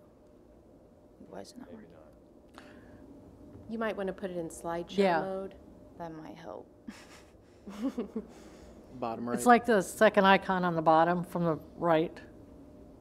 To the right, a little, one more, right there. Clearly, There I don't go. do these often. She's on the street working and not uh, playing with presentations. Think. Can we get a chalkboard? So the program consists of three different phases. I'll go into detail about those in a little bit. Um, the main goals of this program is to reduce crime, gang activity, and drug activity within the community, and just overall make the community a safer place. Um, we also want to build a stronger working relationship with our landlords and property owners. I would say prior to this um, program being put in place, uh, we never really had contact with our landlords and property owners. I mean, we would occasionally be in contact with them, but ever since I started doing this, I'm in contact with the landlords and property owners weekly. Some of them, I'm in contact with them daily. They're texting me, even call me when I'm not working, which is sometimes inconvenient, but um, we're working through that. Um, but I think it's great that we now have this stronger working relationship with them. Um, they've kind of built trust in me and uh, things are getting done. Um, sometimes on the street when there's trespass issues or whatever other issues come across in their property, they have to call dispatch. An officer has to try to find that person to trespass them. Uh, sometimes it could take a week or two for us to find that person to trespass. Um, now they've been just sending me lists of people that they don't want on their property because they've been causing issues. I've been able to just go track them down myself versus it being uh, pushed out to a week or two. So I know that they're pretty appreciative about that. And another goal is to just provide resources to these landlords and property owners. Um, we're not here to give legal advice, but we're just helping them with the resources to make their properties a safer place. Um, if they have questions about uh, housing or writs or evictions, I can point them in the right direction and give them contacts. So a little bit about the history of the program. It was developed in 1992 at the Mesa, Arizona Police Department. Uh, since then, this program has spread over 2,000 different cities in the United States. Um, in Iowa, there's at least 20 different departments that have implemented this into their police departments. Ankeny, West Des Moines, Urbandale, Cedar Rapids, Dubuque. Some actually even make uh, the first phase of this program mandatory. I used to work in Dubuque, and um, I recently just found out that Dubuque does make this first phase of the program mandatory, and I'll explain why they probably made that mandatory in a little bit. Uh, there's multiple different types of the crime-free housing. Be rental houses, rental properties, uh, apartment complexes, townhouses, mobile home parks. It can even spread out to storage units and hotels. Um, I don't have much data to show you guys right now, but um, I've done some research and fully certified properties. So once they complete all three phases, uh, data has shown that their calls for services at these properties have reduced by 70%. So the first phase of this program is the management training. Um, it's an eight-hour course. Um, in order to be a part of this program, you do have to attend the eight-hour course. Uh, our first training session was on Friday, May 12th. Um, we held the training session at the library here in town. Um, who attends this training? Uh, landlords, property owners, uh, maintenance guys, basically whoever is associated with the property. I know we had a lot of issues with uh, some of the property owners or landlords. They were out of town or doing other things. They were able to just send a maintenance worker or somebody else that was associated with their property to attend. Um, and then they were just relaying that information to their property owner, or I followed up with the property owner and kind of gave them the lowdown of what uh, went on at the training. Uh, we had, I believe, 18 people attend our first training. Uh, we had 35 sign up. Unfortunately, not everybody showed up, but we got more people than we expected to show up. Uh, the training is about a variety of different topics. Um, we kind of gave a brief introduction of what the crime free housing program was. We had help from Urbandale Police Department and West Des Moines as well, just because we were new to this and we just kind of wanted to see how they um, present the training to the, uh, their people in their town and just kind of got some tips from them. We had uh, Michelle Brandt come down and talk about applicant screening and background checks, as well as Section 8 housing and fair housing. She's a state certified trainer and she goes around to all different police departments in Iowa and specifically educates landlords and property owners on those topics, mainly because we don't really have much knowledge on those kind of things versus her. She was very knowledgeable in those aspects and gave out quite a few handouts to the landlords and property owners. Um, eviction process and writs. Uh, we had um, the civil department here in Muscatine, as well as the Muscatine County Sheriff's Office, come and do a little presentation on those topics. I thought this was pretty informational for the landlords because most of the time in the city, um, they reach out to the police department with questions about the eviction process because they think we handle it since their property is in the city, but realistically, we don't deal with that. It's the sheriff's office that's dealing with it. So they were given a bunch of handouts and they were able to present a bunch of questions to the civil office and to the Muscatine County Sheriff's Office, which cleared up a lot of things for them. And now they have contact information for those guys if they come across questions. Um, safety and prevention, we had the fire department uh, do a little presentation on that. Uh, that was kind of just basic safety in the household, um, making sure you're talking to your tenants, letting them know where uh, fire extinguishers are, just basic safety and prevention stuff in the household. Um, we talked about combating illegal activity and crime prevention. Uh, we talked about drugs, paraphernalia, gangs, um, basically what that all entails and how to report it to us. Uh, lease agreements, we had a civil attorney come in. He was from Cedar Rapids, and he basically just talked about any legal questions that our audience had for them, which is quite a few, and now he's a point of contact for them if they have any uh, legal questions, because we don't give out legal advice for that, so. And then the crime-free addendum. Just want to pass that around. Or yeah, you can hold that around and I can pass these two paper forms around. I'll take a look at those. Vanna White. So this is basically what uh, the program is based around. It's a crime-free addendum. Um, I'm not going to read it word for word, but he's holding one example, and then I passed around a couple other examples. Um, basically, this says tenants shall not engage in criminal activity, including drug-related criminal activity, including guests of the tenants. Um, like I said, this is just an example, but we want to make sure that landlords are having this kind of stuff in their leases, so that way we can do something about uh, the criminal activity that's happening at these places. Um, we really strive to suggest that criminal, or make sure they're defining criminal activity and drug activity in these leases. Um, especially the guests of the tenants. We always get called to apartment complexes or rental houses because the guests are causing issues. Well, then it kind of ties our hands because then they say, well, this person's been living here for five months and he's not on the lease. Well, then that kind of becomes a problem. So if this is in your lease, then you can do something about it. Um, here's an example. So say we get called out to an apartment for a guy, he's drunk and causing problems at the apartment. He goes to jail. Uh, we talk to the landlord, let him know what happened. They can go off their lease and evict him if they want, but they also have the right to keep him around at the apartment complex if they wish. But if it happens five more times in the next month, then we're gonna have to have a sit-down conversation with the landlord and be like, hey, you're not complying with the program. You can either go through the eviction process or we can just take you out of the program and you'll no longer be a part of the crime-free housing program. So we're just providing resources to these landlords and it's up to them if they want to participate or not.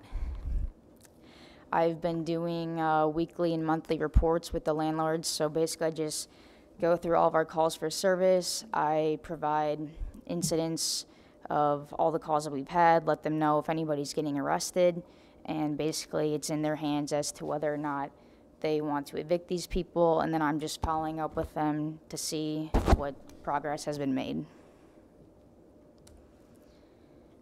So these are all this phase one certified properties. Um, all these people or that were associated with these properties attended on May 12th. Um, it might just look like there's 15 or 20 names up here, but realistically, with all the properties that they own, uh, there's probably at least 75 to 125 different units that we're in charge of and that are phase one certified. So this is the second phase of the program, which is what we're starting now, um, which is basically a security assessment. I'll go up to the property, I'll, ins- I'll inspect the doors, windows, lighting, surveillance, um, the basic landscaping of their properties. I'll go over with them what I think should be improved, what's good. Um, we realize that these things are expensive. Some of these things can't be fixed within a day or two. We get that. Um, for example, if there's a broken window, it shouldn't take six months to repair that. Uh, criminals see that as an easy target, and they know if people don't fix their things, they don't care about things, and their criminal activity is just going to keep happening. So, for a broken window, we do expect that to get fixed. But for surveillance, um, for example, the apartments out at 1816 and 2002 Logan, uh, we get quite a few calls up there. They do have surveillance, but the past few years hasn't been the best. Uh, sometimes some of the buildings just they weren't working. So we've had conversations out there, and they actually are putting up new cameras within two weeks. So technically, that's going to be a phase two certification based on they've been making improvements. Um, so overall, we're just looking for improvements over time based on, I guess, a list of things that we go through. And then next, oh, actually, going back to phase two, I can pass around a survey, kind of what I'll bring up to the apartments, and it's kind of like my checklist, if you guys want to take a look at those.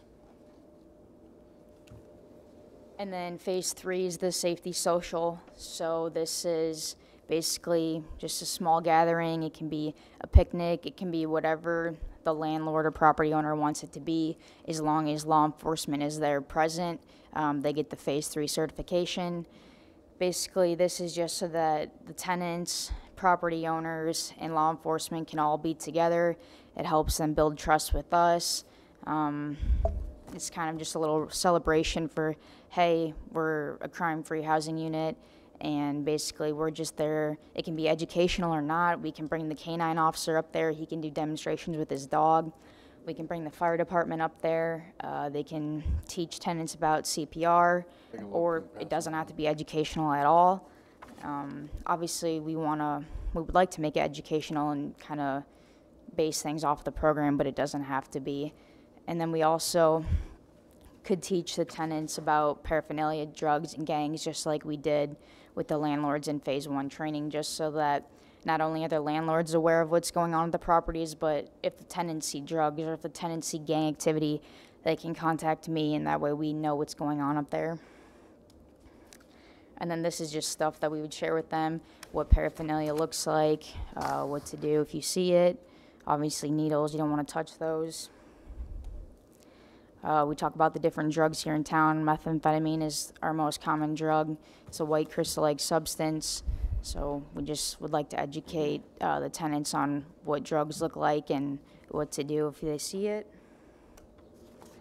And then gang activity as well. It used to be a big problem here. A lot of our gang members are currently locked up, but eventually they'll all be getting out. So it's just nice to make our community aware of gang members in town, what they wear. Um, they're known to wear black and yellow. Um, if you see them with crowns or lions, tattoos, or shirts, it most likely means that they're part of the Latin Kings. And we have over 15 documented Latin Kings here in Muscatine. So it's just an educational thing for them. And then after the completion of all three phases, uh, the landlords and property owners get to hang up this sign, whether it's at the office door or wherever, the welcome sign, wherever they want to hang this out at. Um, we'd also like to. Not as me as opposed. We would also like to possibly get this up on the city's website, um, information about the program, and then possibly get a list of all the certified properties here in Muscatine. Um, that's how I basically found out about all these other departments. I just went to their city website and they had their own section for crime-free housing, and it had a list of all their properties that were certified. Um, so after the certification, they'll just continue to do this each year. We'll go through phase two again, and they'll have a social again. If they don't want to keep doing phase two and phase three, then they just won't be certified anymore. They'll just be certified that one time, and if they want to continue in the program, then they'll have to continue with the phase two and phase three. And uh, there's a bunch of benefits to this program, but the main ones I think are just making the community a safer place by reducing the drugs, gang activity, um, advertisement for the landlords, property owners, and overall they just get a better tenant base, um, reduce repair costs, they don't have to keep fixing things, and increase property value.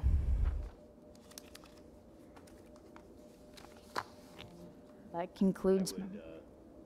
Just to kind of expand on what Nicole was saying, uh, the idea behind this program was essentially in looking at uh, the amount of rental properties in this, in the Muscatine area and in the Muscatine jurisdiction. Move, move Oh, closer to the mic, the public can't hear you, yeah. Can you hear me now? I Is see. that better? Okay. Um, was that there was a significant amount of rental properties within the Muscatine area, and from those rental properties, there was an equally significant amount, of criminal activity that came from them. Uh, we looked at that problem and said, how can we eliminate that or reduce that as much as possible? We came across this program and what's really unique and uh, kind of neat about it is, is it's a it's a case that it's a benefit both to the police department as well as to the property owners.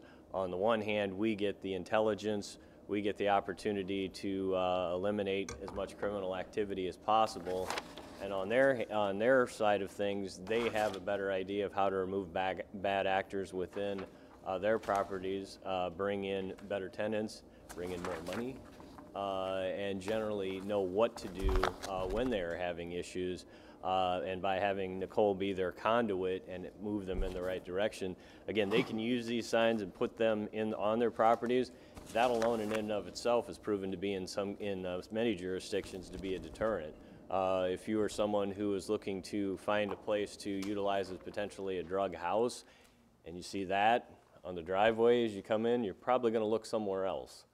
Uh, so most, that be, is again, using a unique program and as it benefits us and it benefits, uh, the landowner, or excuse me, the rental property owners as well. Um, just to show even, uh, as we are getting in kind of the infancy and beginnings of this, but, uh, what was it, yesterday? Uh, NCO violation? there was a property owner that got a hold of Nikki, now that they have a direct conduit with the police department, to say that there was a active violation of a no-contact order going on on one of the properties. She immediately was able to find the information, find where the uh, no-contact order was involved with, get officers' location, and arrest was made. Uh, And through the, uh, the addendum that we have the, that is uh, provided, uh, that is a reason, or could be a reason, that the land, uh, the property owners could remove that tenant. So we're giving them that opportunity to not only have information, but to help them police their own properties and make them better for themselves. So again, I think a really u- really unique opportunity for both uh, the community and the department. Councilmember Gordon? Great program, awesome, great amount of work. Um, If you get to that level three, is there an opportunity for the landlords to give you at least an idea of how many of their tenants have signed the agreement, the lease agreement? Because they're not gonna be able to do that overnight. It's gonna take a period of time as they go through that.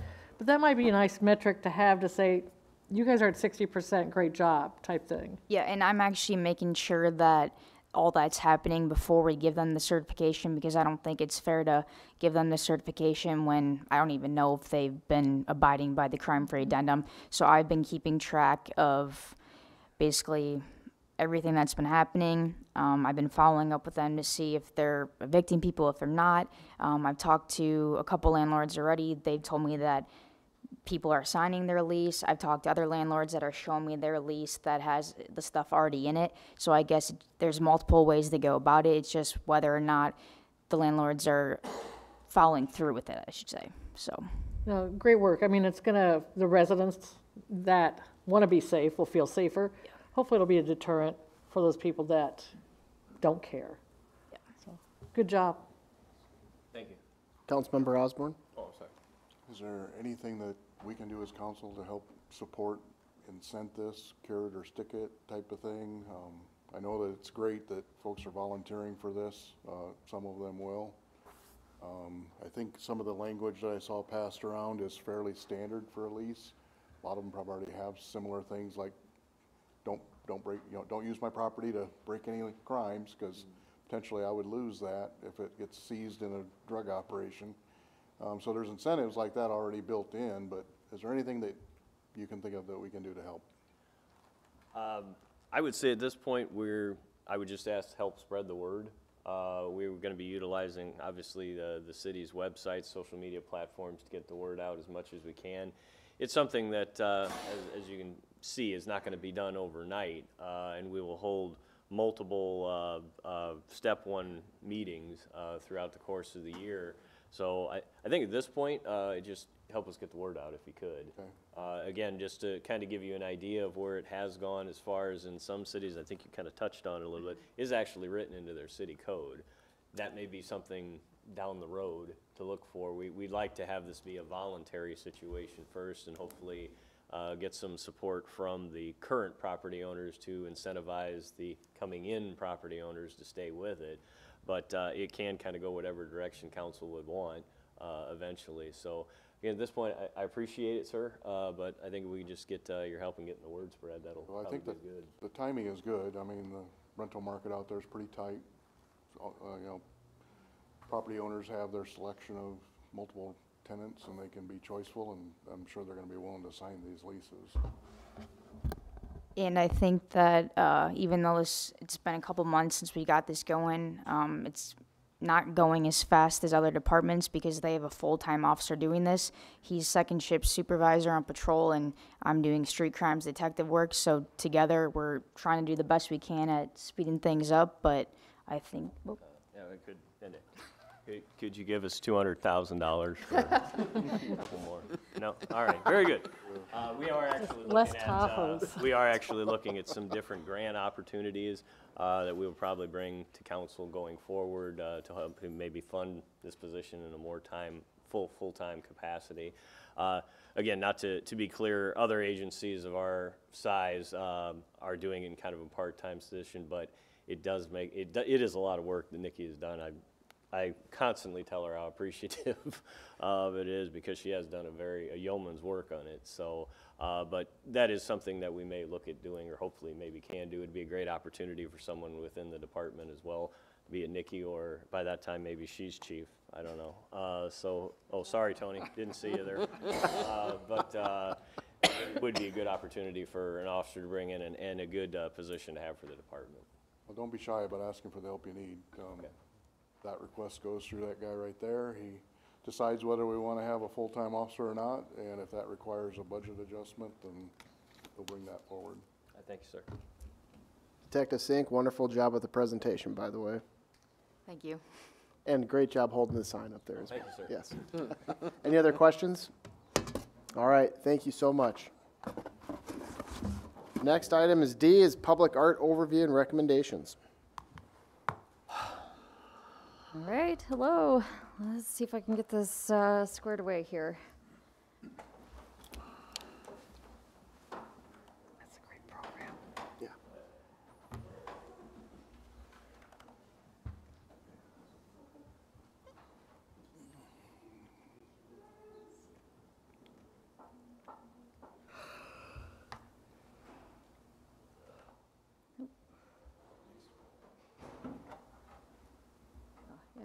My vision's not so good from far away.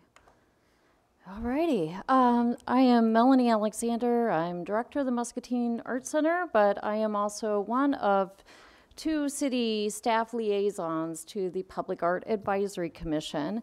Um, the Public Art Advisory Commission is, um, I believe, the newest for the city of Muscatine. It was established on July 1st of 2019, so we've been in existence for less than four years.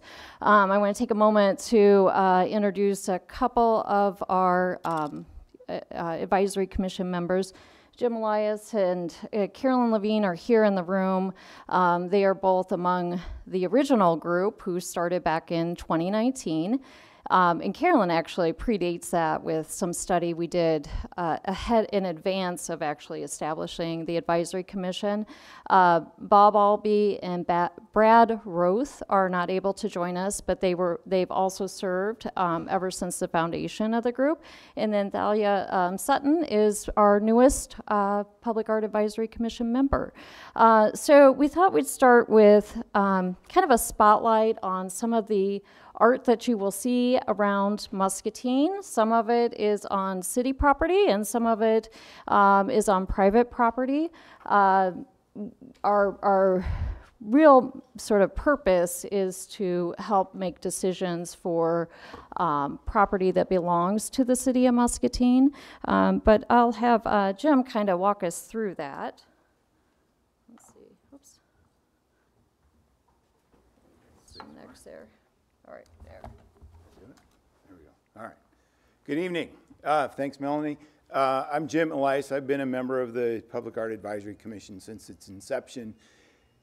Uh, In 2006, 17 years ago, was Muscatine installed a really impressive piece of public art down on the riverfront in Riverside Park. Mississippi Harvest, the statue or the sculpture on the far right, stands sentinel over, over our city, and my hope is that he will be watchful over much more uh, artistic and cultural endeavors within our city. Uh, so I'm going to, the next few slides, we'll, we'll talk about uh, just kind of highlight some of the art that we have, either public art or art in public spaces. Uh, this slide shows three statues or sculptures that we have um, on public, public property. This slide shows uh, a number of murals that we have throughout the city. Uh, all of these are on private property, and you will, some you, I'm sorry, the, the one in the center, the lady on the scaffolding is public property. That's, that's the tennis court at Weed Park. Um, if you're familiar with some of these, you will know that, that many of these murals around town have faded and maybe fallen in some disrepair. Uh, so that's, that's a, an issue that, that we believe the Public Art Advisory Commission needs to uh, at least have on our plate somehow for the city. Uh, We have the Muscatine County Arts Council in 2016, I believe. They launched their Wandering Words program. So throughout the city, there are a number of poems sculpted into public sidewalks. So that's a pretty cool project. Uh, These are a couple of things that are art in public spaces. The, the Muscatine Power and Water owned water tower, of course, that was an engagement with the city where they asked folks to submit ideas for what kind of art going to have on the new water, or not the new water tower, but repainted it. Uh, and so that's an example there. Uh, the Stanley Consultants Building, that's a private property and it's privately owned sculpture by Stanley Consultants, but that's at the corner of uh, Iowa and Third Street, so that's in public space. Of course, we have the, the bridge, uh, which not everyone may consider that to be art, but the way that it's lit and the way we use it, it's, it's quite, a, quite an iconic thing for our community. Uh, we've had a number of, of kind of rotating or temporary installations. This was uh, actually the summer that the Public Art Advisory Commission was founded. Uh, we, we started this and we had this six months. Was he in town? Maybe it was even a full year. Full year, yeah. Uh, but David Hayes is a, is a world-renowned sculptor, and his son, David Hayes, was the, is kind of the uh, steward of this collection, and we had a handful of David Hayes uh, steel sculptures throughout the city. Most of those were placed in, on public land. I mean, we had one out in front of City Hall, um, Discovery Park, places like that. Uh, and this is the, the newest piece of sculpture installed at the Art Center. And again, so that this this is uh, certainly public art because it's owned on it's on public city-owned property at the Art Center. Uh, it's also um, art in public spaces owned by kind of a private collection in that the Muscatine Art Center has its own collection. So it is kind of a hybrid thing for what we're doing. But but this really kind of highlights a lot of the types of uh, art that we have around the community. And I think that's going to, I'm going to let Melanie just kind of fill you in on what we've been up to and give some recommendations. Thank you. Thanks, Jim. Um, and in the remainder of the slide presentation, you will see some other examples. There's uh, lots of sculpture that's part of um, the zoo garden at Weed Park, of course, and there's additional murals and other other things. So this is just sort of a sampling to remind us all what we currently have in our community. So I want to first um, begin by the um, processes that have been managed by the Public Art Advisory Commission um, since it was founded in, in 2019. Um, so I'm going to talk first about two projects, and both of these were identified by leadership within the city of um, Muscatine. So there was um, other city staff, department heads who were interested in art for the roundabout at Mulberry and Second. And then there was also interest in art on the retaining walls along the trail um, on Hauser. So that's where we sort of took our direction. Was there was there was interest in moving on um, those um, particular locations. So um, we ran, and of course this was peak COVID. Um, I think we launched this in November of 2020, looking for organizations interested in painting murals because we have no money for public art. Um, so the idea was to involve organizations and and um, have them um, select their own artist and and fund much of their project. Um, so we have um, Janet uh, uh, uh, Hoops working on the uh, mural for Fairport Fish Hatchery on Hauser and Hershey. Um, she did the first round of that mural in 2021, and then she um, did another, a second round in 2022. And I think they're going to come back at a later time. They had an idea for how to complete that. Um, that's the the longest chunk of um, the retaining wall on, on Hauser. Um, I believe they'll be coming back to us with some ideas for how to finish that off, but it will probably be a 2024 project. Um, and we did have some funding that came through the Community Development Office to cover the supplies for paint and for sealing that mural. And that was, um, those murals were reviewed by the Public Art Advisory Commission. Uh, we also looked at applications from other organizations and uh, uh, we're able to move forward with the fish hatchery project. So in the other uh, piece for the roundabout, we did a request for qualifications, and this was also in November of 2020. And it was somewhat of a pivot because I had um, secured a grant to run the Idea Dash, which in 2020 was not a possibility. We couldn't gather in, in public at that time, and so instead we broke up that grant to create three separate stipends for um, artists to uh, work on their concepts for the um, sculpture for a proposal for the roundabout. Um, so we went through a process of looking for qualifications. Um, we had 17 different artists respond to that, and then the Public Art Advisory Commission selected three, and then those three artists um, developed concepts. And so then once we, we um, received their um, concepts along with what the costs were going to be, what the maintenance concerns were going to be, um, and then images of, of what their project was. And then we had the public vote on it. Um, it was kind of a lengthy process uh, with both online voting or in-person voting, either at um, the, the library, the art center, or at um, Jim's uh, Sunrise Gallery. So we um, did a survey monkey and um, collected all sorts of feedback about it. And um, the far the the the preference was um, for Zenith, which was by the artist um, Nathan Pierce. Um, so let's see, um, 50% of survey participants selected that as their um, top choice, and then we also collected feedback on what what people thought would be their second choice.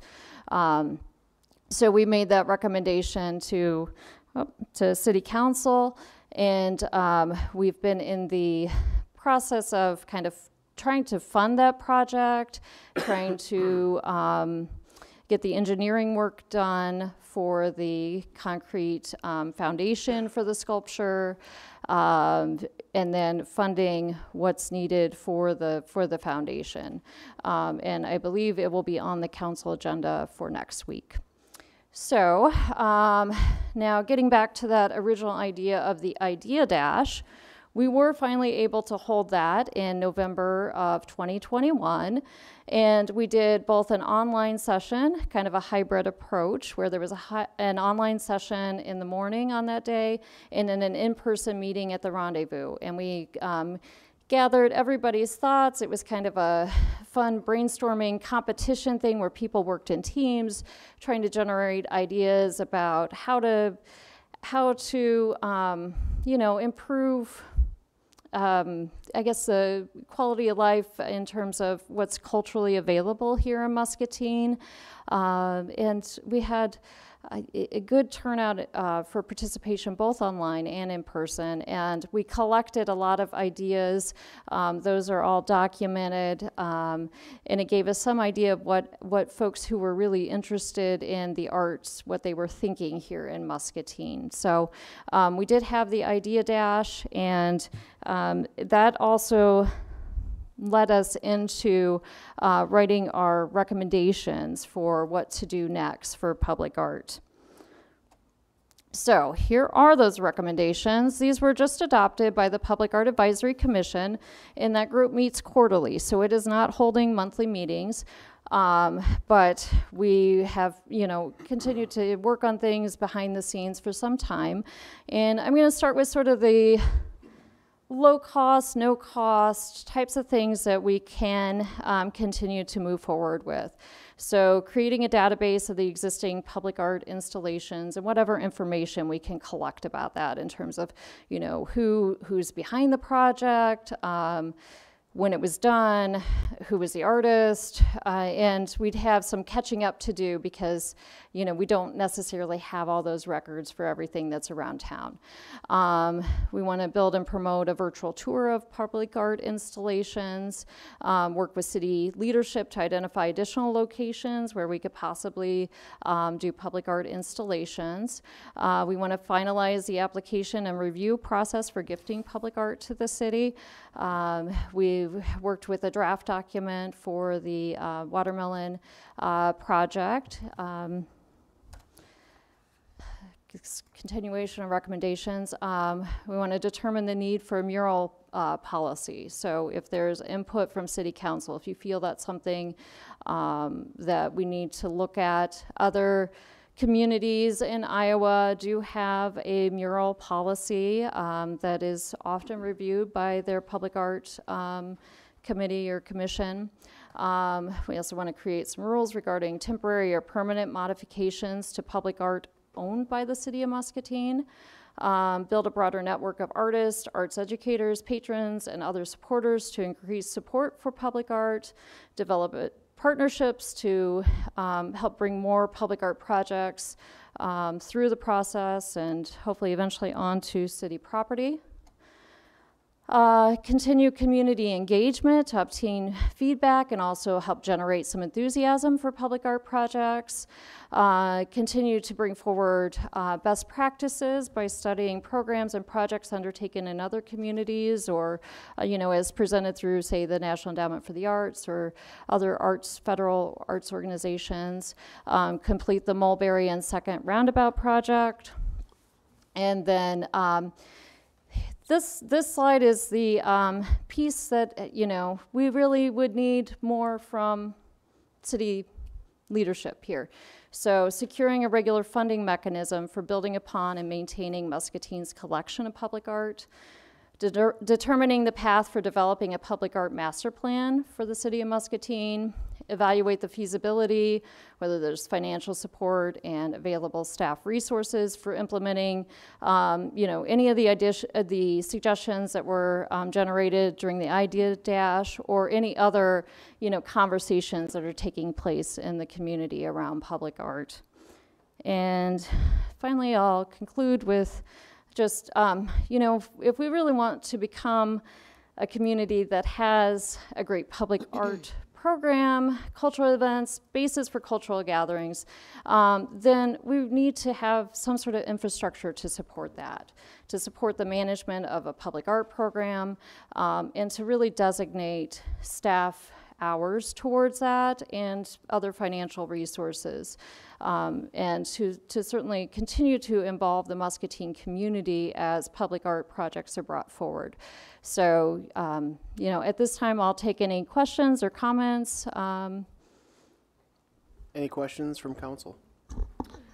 Councilmember Osborne? A couple of, sorry, a couple of comments. Um, As far as funding goes, um, some cities have done a really interesting job, like Iowa City, where they do Herky the Hawk competitions every year, and then that becomes public art that, that private, private folks that entered the competition end up maintaining for the year or however long they want.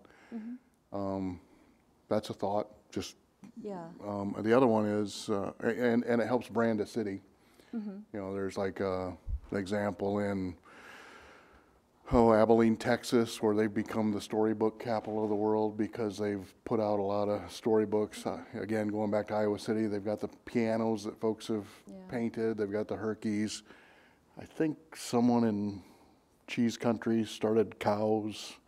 Um, and, and all of that is ways to continually fund it. Um, Iowa City has a, a code, um, requirement on all new construction that a certain percentage of that has to go to art. Um, Now, whether that goes, in our case, whether we choose to make that part of the building they're doing, or if it just goes into a fund, that would be another way to fund maybe art everywhere versus just in the building that's being built. Um, So just a couple of thoughts. I don't know. What Yeah, are your- and what- if What are your you- thoughts to that? If you um, look at the uh, attachment in your packets tonight, and included the full list of um, the recommendations and the idea of a percent for art, especially if it comes from, say, a city project. You know, had that been factored in, say, when um, Second Street was redone, then there would have been money available to, to do Zenith or other projects. Um, it makes it uh, just a challenge when there's not a set fund. Um, you know, it's it's uh, it, hard to, you know, it, I I, I, uh, don't really wish to put on the fundraising hat for public art when I need to do that to support the Muscatine Art Center. Um, so it's it's very challenging without a set you know, funding mechanism. And, uh, you know, I have, I have, um, you know, submitted grants for public art in the past. Sometimes they're successful, sometimes not, but, you know, we try and we try to do what we can with the resources we have available. Councilmember Gordon? Um, I, I agree with Jeff, and actually, uh, City Administrator Webb and I have talked about this in the past, is how do you fund public art? By collecting a fee or a portion of a capital project, so it's not coming out of our general fund and things like that. But that one percent, I mean, some people do five, that's a lot, a heavy lift, but that one percent of Second Street, of Grandview, Park Avenue, could make a nice fund. I think we just need to work on that and see how we can do it. Um, You think about a normal contingency fund of a project, it's what, ten percent-ish? Is usually the, you know, contingent, well, one percent, I think would go, I mean, great. So I think we should work on it. Councilmember Osborne? We also have a fairly healthy emergency fund right now. Um, You know, John's poked at that quite a bit. Um, Really healthy what? Emergency fund right now, um, that could maybe be seed money to get something started. Um, Just a thought for council. But just get it started so that as we have, because we always have capital projects. I mean, We've done a lot with roads lately, we're gonna continue to always do a lot with roads. Think about what Isett would do if we had a percentage of the Isett project. Oh, yeah. Yeah, just one percent of our capital bu- budget would go Yeah, along. I think so. I think we can maybe have a smaller group, look at what some cities, I think uh, Administrator Webb has said, like Coralville, I think, does Yeah, that. there So are- this, There are a few cities, I think, in Iowa that use that model. Yeah. There are others too, though, you could look Yes. at, yeah. so we don't have to start fresh. We can benchmark theirs and, you know, we can borrow their code. So I think it's a great opportunity and I agree with you, Jeff. I- If I may, I, I wanted to make a comment r- related to funding and, and uh, the, the comment that Melanie offered about staff. Um, The, those of us on the Public Art Advisory Commission that are not members of the Muscatine Arts Center staff, uh, we recognize that, that uh, Melanie, Melanie's got a lot on her plate to run that museum to begin with. And, and she does a lot of the heavy lifting for us, and we're very appreciative. Um, But as, she- as she said, to put on the fundraising hat, that becomes um, a bit of a conflict, I think, in, in her role as director of the Art Center. Um, And we've, we've talked amongst ourselves that if, if we had a, even a half-time person, we had someone that, that was earmarked to manage public art, um, not only would- could that person then manage projects and activities that are coming through that we've, that we've identified, but also put on the hat to go find grant opportunities and other funding sources and fund, fundraising. So, I wanted to say that. Any other comments? Councilmember Osborne? Jim, as a, as a former business owner and neighbor of ours downtown, you know, you put, owner. I just don't have Yeah, details. well, I should say as a downtown, you put a mural, you put a mural on your property downtown. We see that happening a lot. Um, I'm, I'm just kind of curious for my own information. You know, we, we, we have a focus in this group about public, city-owned properties and everything. Is there any, you know, some of these walls, uh, that are privately owned around the community gather graffiti, the owners have to clean it up, and one of the number one ways to stop that from happening is put a mural on it. Um, Any thoughts about maybe picking some of those sites as, and partnering with the property owners on public art? Yes, I mean, we've, we've talked, um, with the Public Art Advisory Commission, as, as we had on one of the slides specifically, whether or not the city and, and kind of be administered from this Public Art Advisory Commission, um, to have some sort of a mural policy, not just a mural policy and what, what's, um, what you should and shouldn't do, but, but best practices and for long-term maintenance and, and what do you put on there, you know, I mean, what would we as a city like to see on private property that is really public space? Yeah, yeah, it'd be great to see standards, right? Because, Yeah. you know, I could, I could paint a building, and then five years later, it starts peeling off, and, Right, you right. know, and that's And not we, healthy. we've talked, we don't necessarily consider us that we need to be the mural police, but to, to Oh, but you had establish a some set of standards, yeah, recommendations, uh, yeah. I mean, those mural, a couple of murals you had there along Mulberry, um, man, they've, they've lasted a long, they look Lasted a long faded, so time. they must have been there a long time, and they're not fading, but there's others that are newer than that that are needing repainting already, you know? Yeah, Now, some of that has to do with the, mat- you know, that soft brick yep. is a problem, but, Yeah, I mean, and there's, there's a lot of things to, you know, prepping the building and, and the paint that you use to prep it, but then also the paint for the mural itself. Yeah. So, yeah. Any other questions? So I'm looking for some direction. I know the reason that we're talking about this this evening is because council identified in your um, goal-setting session, uh, it's worded evaluate opportunities for funding and pursuing public art. And so how you, how you might want to move that forward, I, the ideas that have been talked about tonight is further evaluating the funding, opportunities for funding, so we could bring something additional back on that. We could also bring back more specifics on mural standards. Are those the areas, or is there more council would like to see come back to, to the group? I think that pretty much I sums think it up. definitely the funding, and then maybe the governance of art overall, because we talk a lot about murals are the ones that are in your face. But if you're going to, as your commission, what is your governance plan?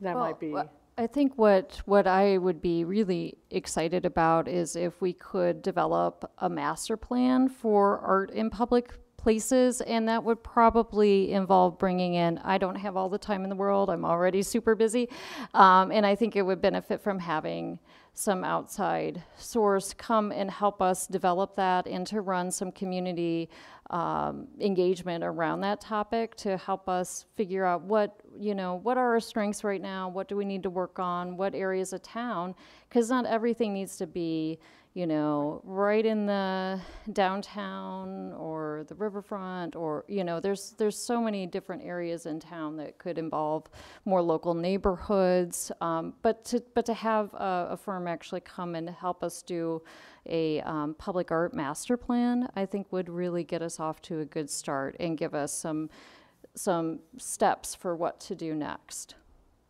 outside of you know just increasing the budget. So Is that something council's interested in looking at? it's, it's a great concept. The moment I heard firm, I hear cost. And all of a sudden, the cost is taking away from other uh, opportunities. But let's see what we can do. Let's see if there's some intern opportunities or some graduate studies that, s- students that might be interested. Or let's see if there's grants. I mean, we're so close to University of Iowa, Well, you're already paying a cost through my time. Yes. So, you know, whatever I, whatever hours I put into that or writing grants for that is gonna be time away from my main purpose of No, doing and the I'm Arts not Center, thinking it should be- Yeah, so it's like, well, where does that resource come from? Yeah, you're a So- guiding factor, you're a, str- you're the strategy. But the see, is there any? We can get a feel for cost, that Okay. might be helpful. Yeah. Um, you know, I'm sure we can get, do a little research on that. It might be something limited in scope, maybe, that, so, you know, that wouldn't be that costly.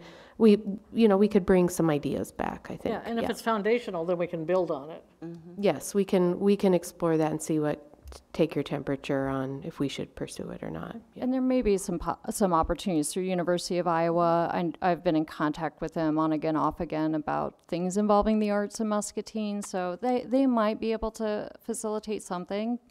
Great.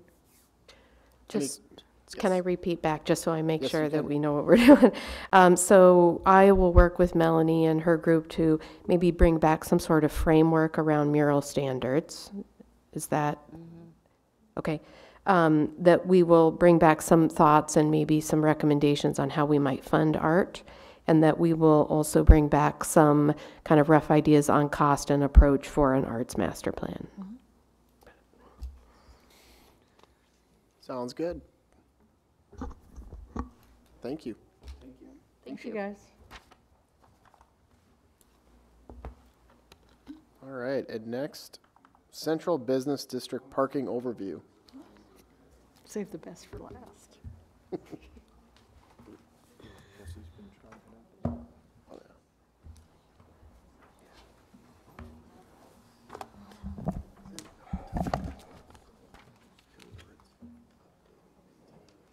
don't know. That would be helpful. State, that'd be, you could allocate part of that towards that. Even a small percent, just. Mm-hmm. Mhm. Yeah, we could look Oh, at Those are my favorite passionate topics. Parking. Downtown But parking. even capital projects. I drew the unlucky straw and I get to be last tonight on the agenda. Uh, Yeah. They wouldn't have to beg for. Um, One of the council goals for this um, upcoming year was to study the parking system in the central business di- district and implement identified improvements. So this is the overview of beginning of the study to give everybody the same in, basic information about the parking system.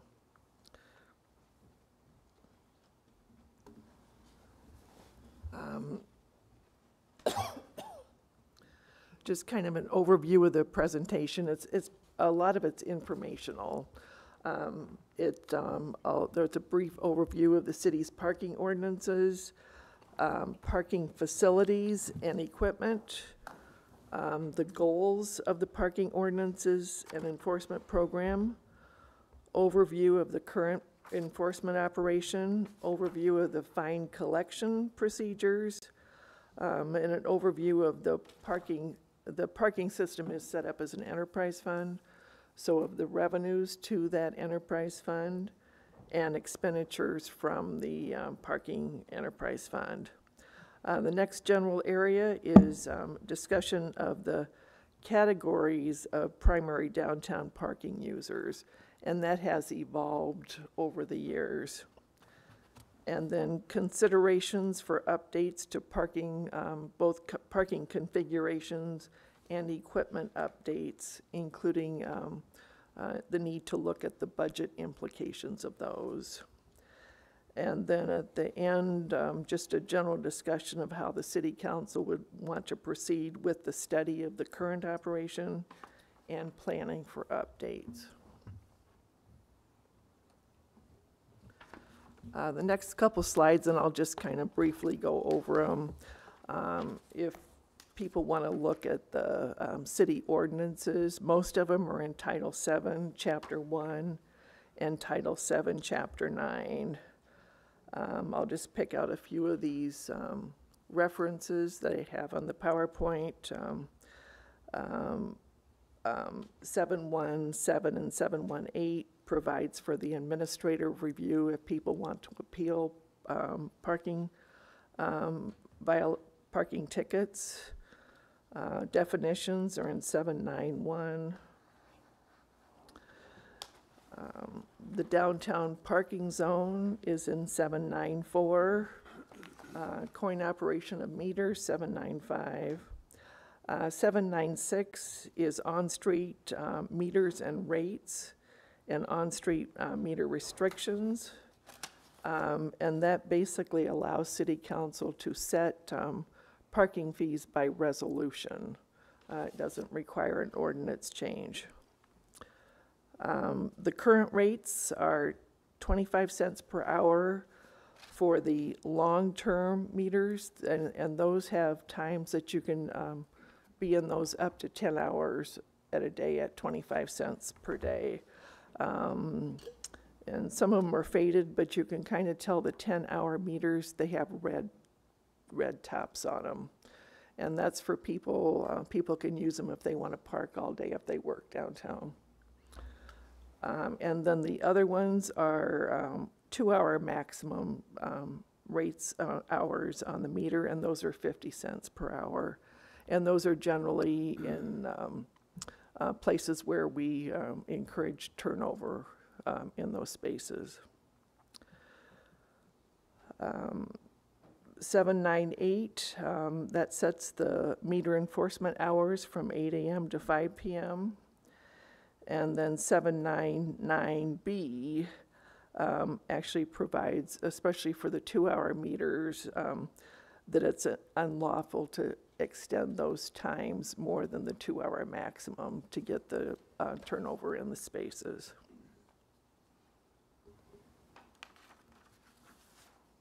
There are around, I don't know how we got that close to 1,400, but we're at 1,399 spaces in the uh, central business district, and that does include the rev, uh, the, the riverfront. Um, so there's, um, 666, uh, on the riverfront, uh, and those are all free spaces, and that's 47% of the total number of, um, spaces. Uh, there's 269 two-hour meters, 130 10-hour meters. So the metered parking is about 28% of the total number of spaces. Uh, 41 handicap spaces, and then 293 lease spaces. So 21% of the total are, are, are lease spaces. Um, There are um, six off-street lots, and each of those uh, consist of combinations of leased or reserved spaces, metered, or free spaces uh, with time limits. And I'll kind of quickly go through Lot 1, um, that's the Chestnut Street lot by Pro Hair. Um, and I won't read all of these. There's 19 10-hour meters in that lot, seven lease spaces and one handicapped. Uh, Lot 2, and that is by um, Second and Pine, and this has probably the most variety of spaces in it. Uh, There's 16 uh, spaces free up to four hours once per day, uh, five two-hour meters, 15 10-hour meters, four lease spaces, and one handicap space.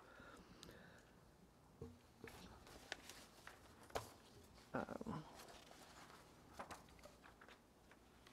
Lot 4, and that's Sycamore and Mississippi Drive. um, 13 free up to three hours once per day, 39 10-hour meters, 40 lease spaces, three handicapped. Uh, Lot 6 is only for um, Clark House residents. Lot 7 is across, East Third across from City Hall. Uh, Most of that is leased or reserved spaces. Uh, There's a few um, uh, 10-hour meters also in that lot. And Lot 8 is off of Cedar Street between Second and Third Street. Um, And most of that lot is lease spaces, 50, 50 lease spaces, uh, five free up to three hours, and two handicap spaces. Um, We do have some off-street, or on-street lease spaces um, uh, next to the new Kum & Go. Uh, Between Fourth and Fifth, there's 19 uh, leased or reserved spaces. And there's um, free on-street parking. There's a total of 167 free on, um, on-street meters, and that includes uh, the Second Street that was made free up to the two hours once per day in each block. And then it also includes the free back-in angle parking that was um, uh, um, constructed as part of the Mississippi Drive project.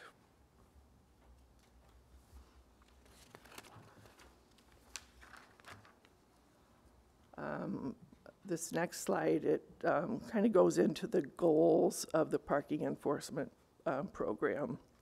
Um, It's basically to provide control of the parking spaces, to ensure that the restrictions are enforced. The primary goal is to provide short-term parking for customers in the downtown business district. Um, The enforcement program is also involved in um, controlling uh, loading zones, lease parking violations, and other parking regulations. Um, Another part of the, um, it's not in the ordinances, but with the um, uh, parking fund, it's um, the downtown landscaping um, uh, program.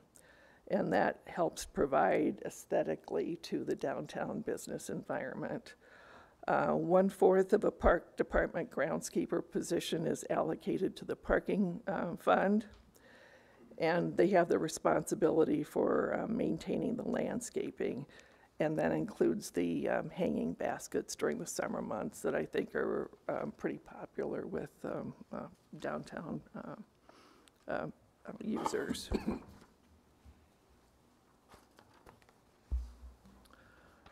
Um, The enforcement operation, we have two part-time uh, meter attendants, um, um, and each has a handheld ticket writer um, that has electronic chalking capabilities. Um, So um, the handhelds are, are used to uh, issue tickets and also do the electronic chalking. Um, The attendants enter the license number, vehicle make and color, violation number, space number in those devices. Um, And if it's for an expired meter, the, the, there's a code for a meter violation. Um, Also another code for pres- prohibited zone, handicap violations. Um, For electronic chalking, they enter the same information. And, uh, for example, on Second Street, those uh, up to two hours, once per day in each block, they enter the information for each of the vehicles, and then two hours or more later, go back and uh, see if those, those um, vehicles have moved. Um, There are um, uh, people that, that know that and they move to a different block. And then there's still, there was 924 of those tickets for over two hours on Second Street issued last fiscal year. Uh, And then at the end of their shifts, the um, meter attendants uh, download the tickets for the day into the software system and then set the handhelds um, so they're recharged for the next morning. Um, The, there were 8,300 expired meter tickets issued last fiscal year. Uh, The total number of tickets issued was over 10,000. And the um, parking software, we also enter tickets issued by the police department throughout town. So if they um, issue, um, um, that's part of our collection procedures.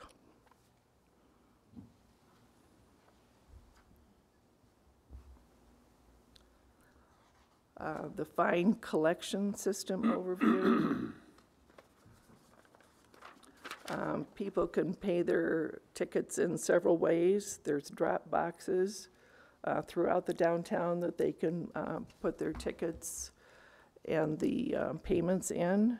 And then um, uh, the parking staff picks those up every, every morning, so they're applied um, promptly. Uh, They can come in finance and pay them in person. Um, They can be mailed in, and they can be be paid online through the parking payment option um, that's noted on the ticket.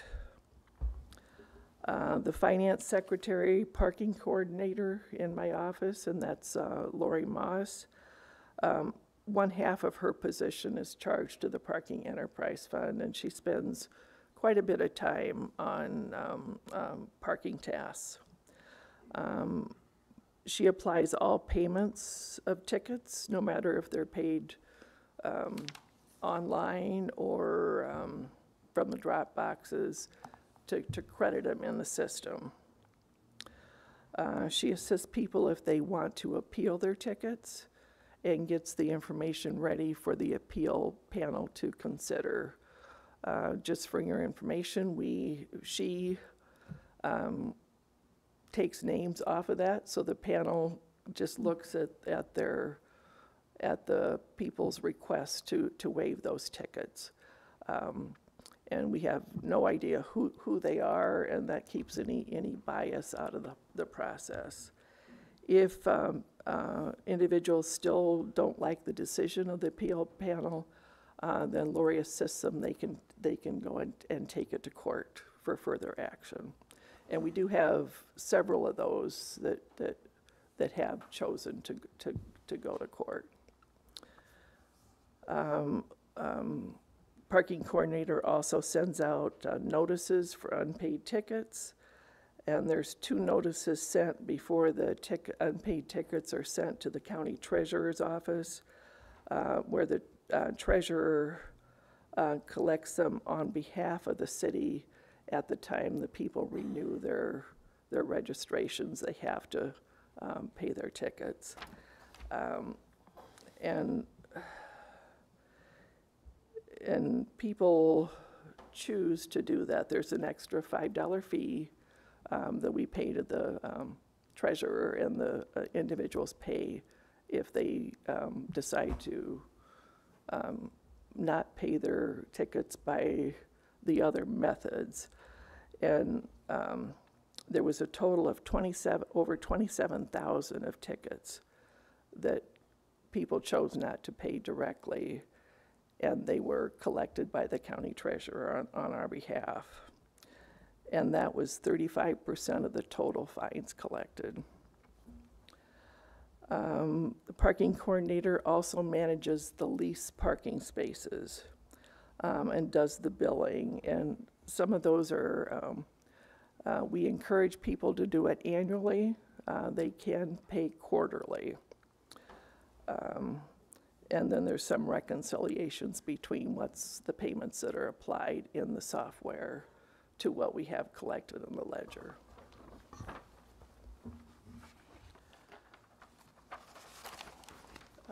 Revenues of the Parking Enterprise Fund in general, um, about 76,000 um, annually from parking meter fees. Um, When you think of change, you don't think it adds up to that much, but it is 76,000 um, from the meters, 48,000 from uh, lease parking fees, 55,000 from parking fines, and then smaller amounts for meter hoods um, and interest and miscellaneous.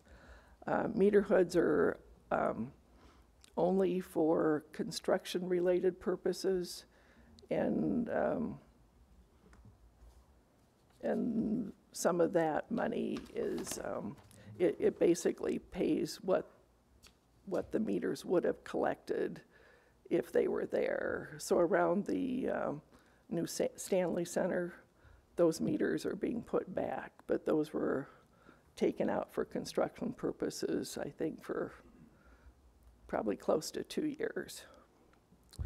Uh, So the total estimated revenues, and this is the budget for FY '24, uh, 180,300.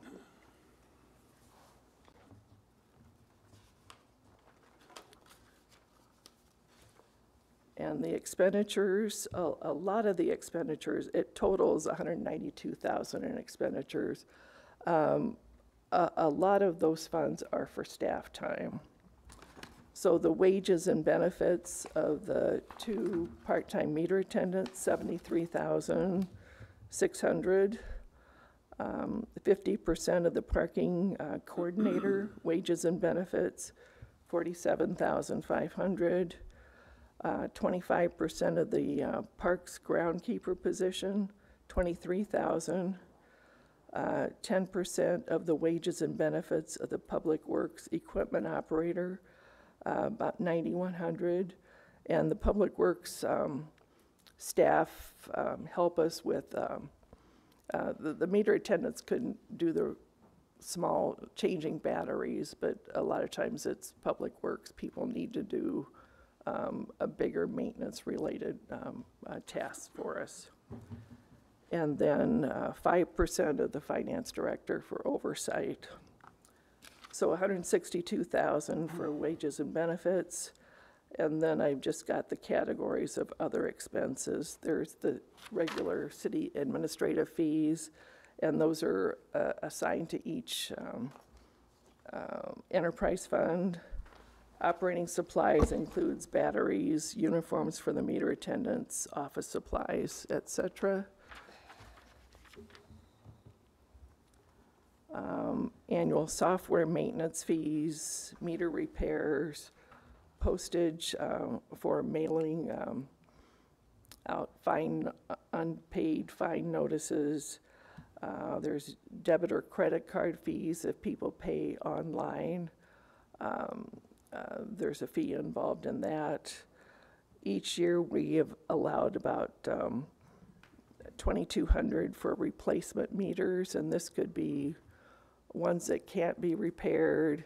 We've had occasion when meters get stolen as well. Um, and then various other miscellaneous expenses, 3,100. So we do have budgeted 192,000, which is, which is more than what our estimated revenues are.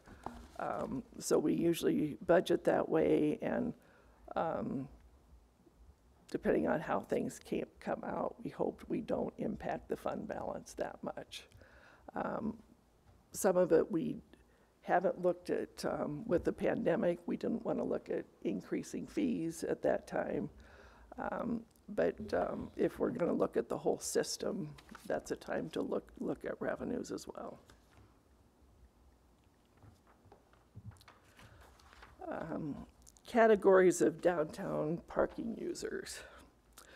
And there really is a, a pretty good mix of things in Muscatine's downtown. And often people say, well, why can't we be like another city?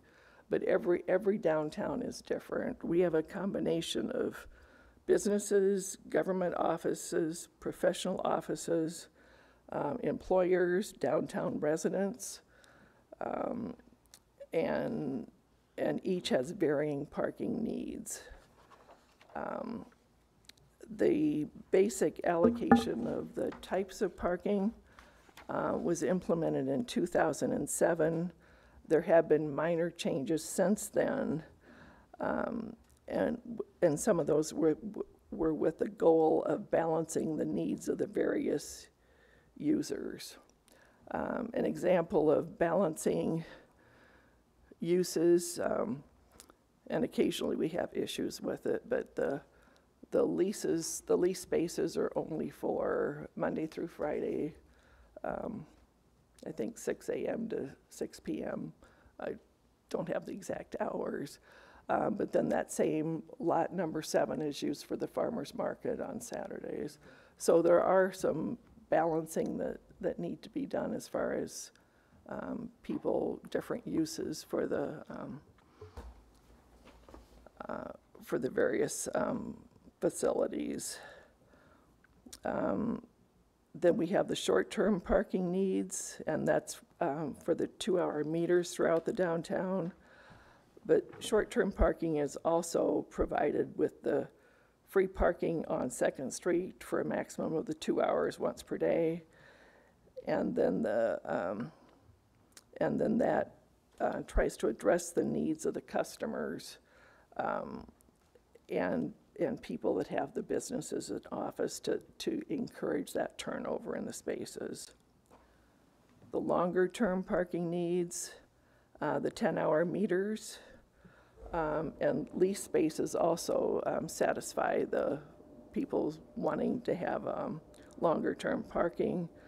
Uh, The free back-in angle parking on Mississippi Drive and the free parking on the riverfront address the needs of, of many that want to park um, all day and, um, uh, and having it free is an added benefit. Um, in larger cities, if there was free parking within two blocks, people would think it was a miracle. And we kind of take that kind of thing for granted.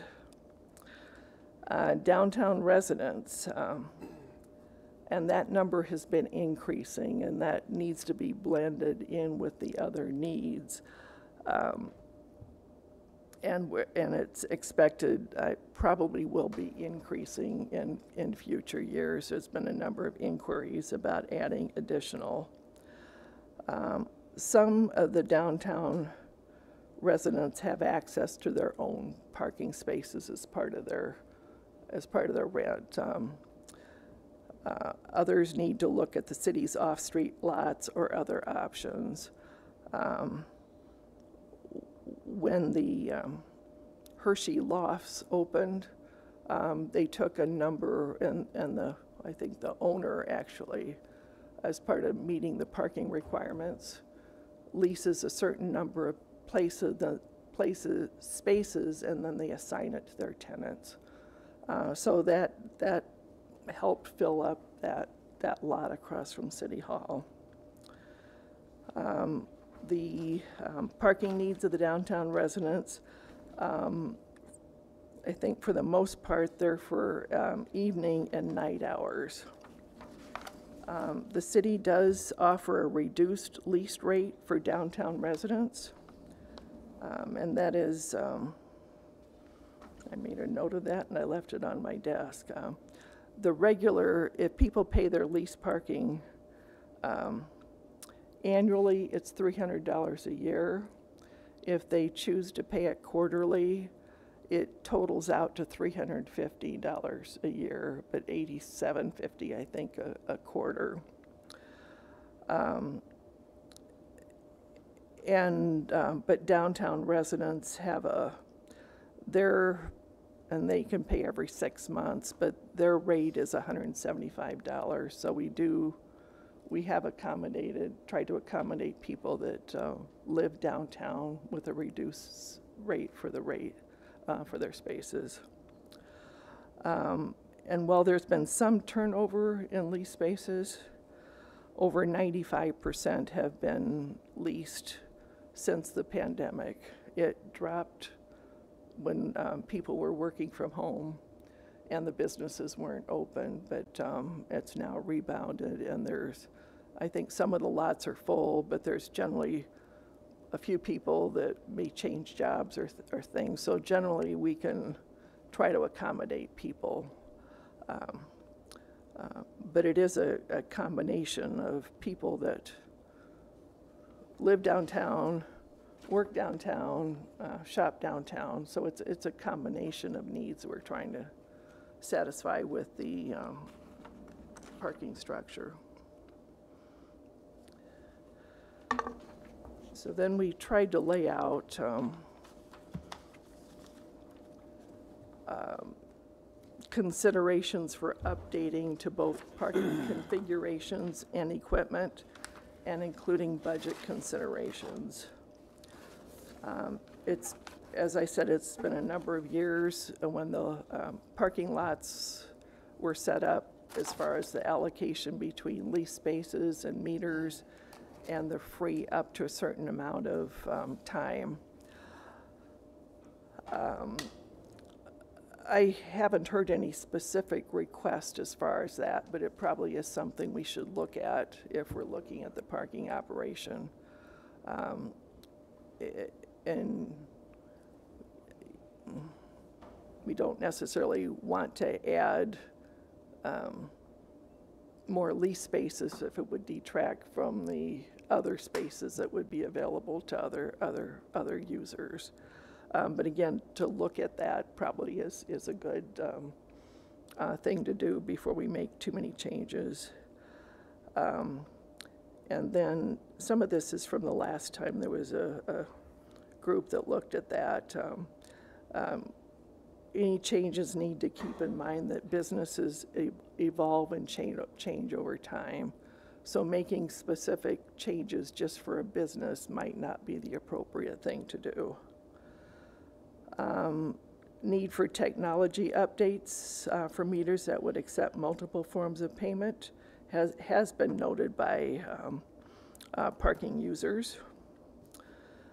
Um, And that, again, we would probably want to study what, what we have and the configurations to see how, how, how many meters we want to keep on an ongoing basis. Um, We do have funds from the uh, funds that are remaining in the Second Street Streetscaping Project. Um, And that was GO debt that's being paid, for, repaid with TIF funds. And they're just now getting, I think they accepted the completed work. It looks like there's an estimated balance um, that might be up to $350,000 that could cover the, the initial cost of technology improvements. And I would hope it wouldn't be that much. Um, If it, if there was other projects to be done in the downtown, that money could be used there too. And one of the, just as an example, um, some of the Second Street streetscaping could be extend, extended to some of the side streets. You know, so it's, um, but we did, when we did, when we did the bonds, um, we specifically allowed for those funds to be used for meter enhancements if we would choose to do that. Um, um, But um, item number five, though, and while the capital costs would be covered from the bond proceeds, um, any ongoing fees would need to be covered by the rates. And so if there's um, ongoing um, payment card fees, ongoing, if there's software, that would need to be covered by the rates. And so the rates would be um, uh, the, probably the meter rates that, that could be looked at. Um, The, the goal of this is that, um, that it should, the parking system should be self-supporting. We shouldn't have to um, fund it from the general fund if, if the parking enforcement is something that we want to continue.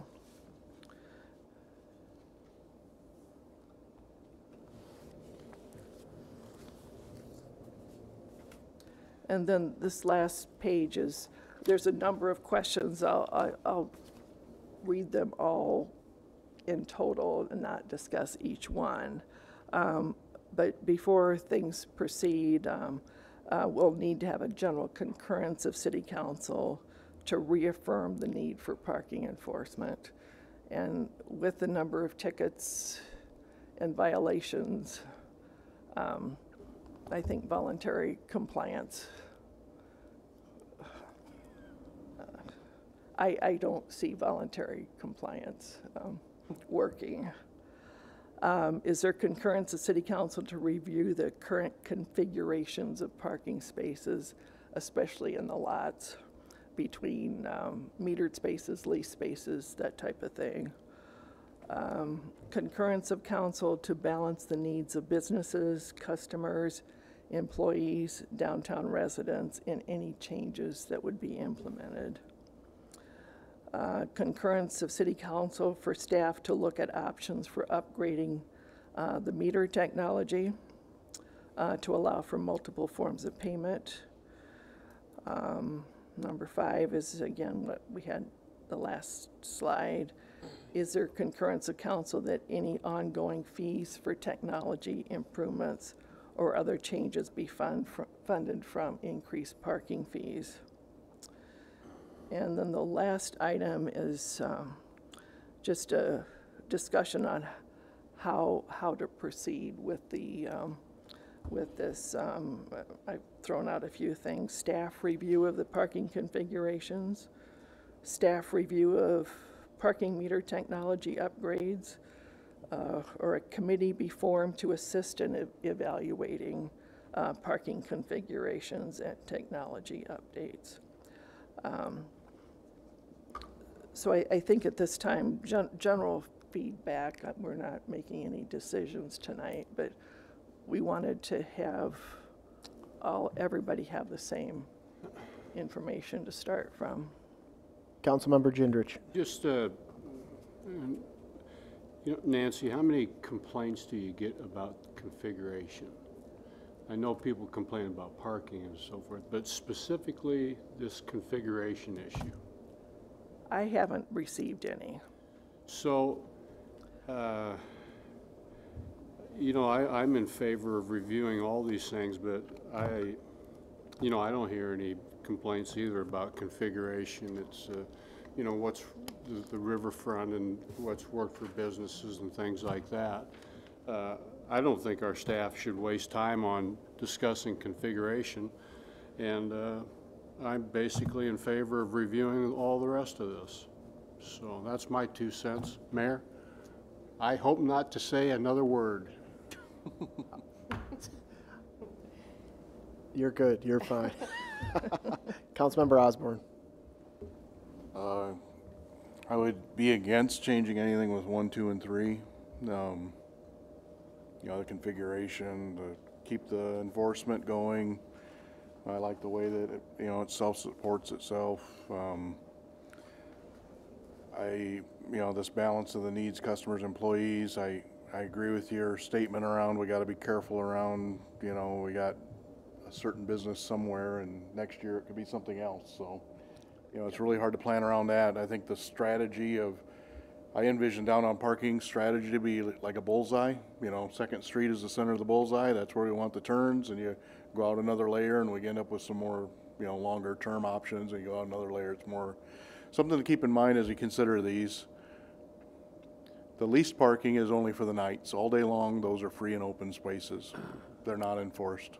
I don't know if everybody understands that, but when you lease a spot downtown, you don't own it all day. It's only from like six PM at night till, No, it's opposite that. just the opposite? You Yeah, own it so during it the is, day. a lot of it is for downtown Okay, I knew it was workers. like half the day. It's Yeah, been a while. yeah.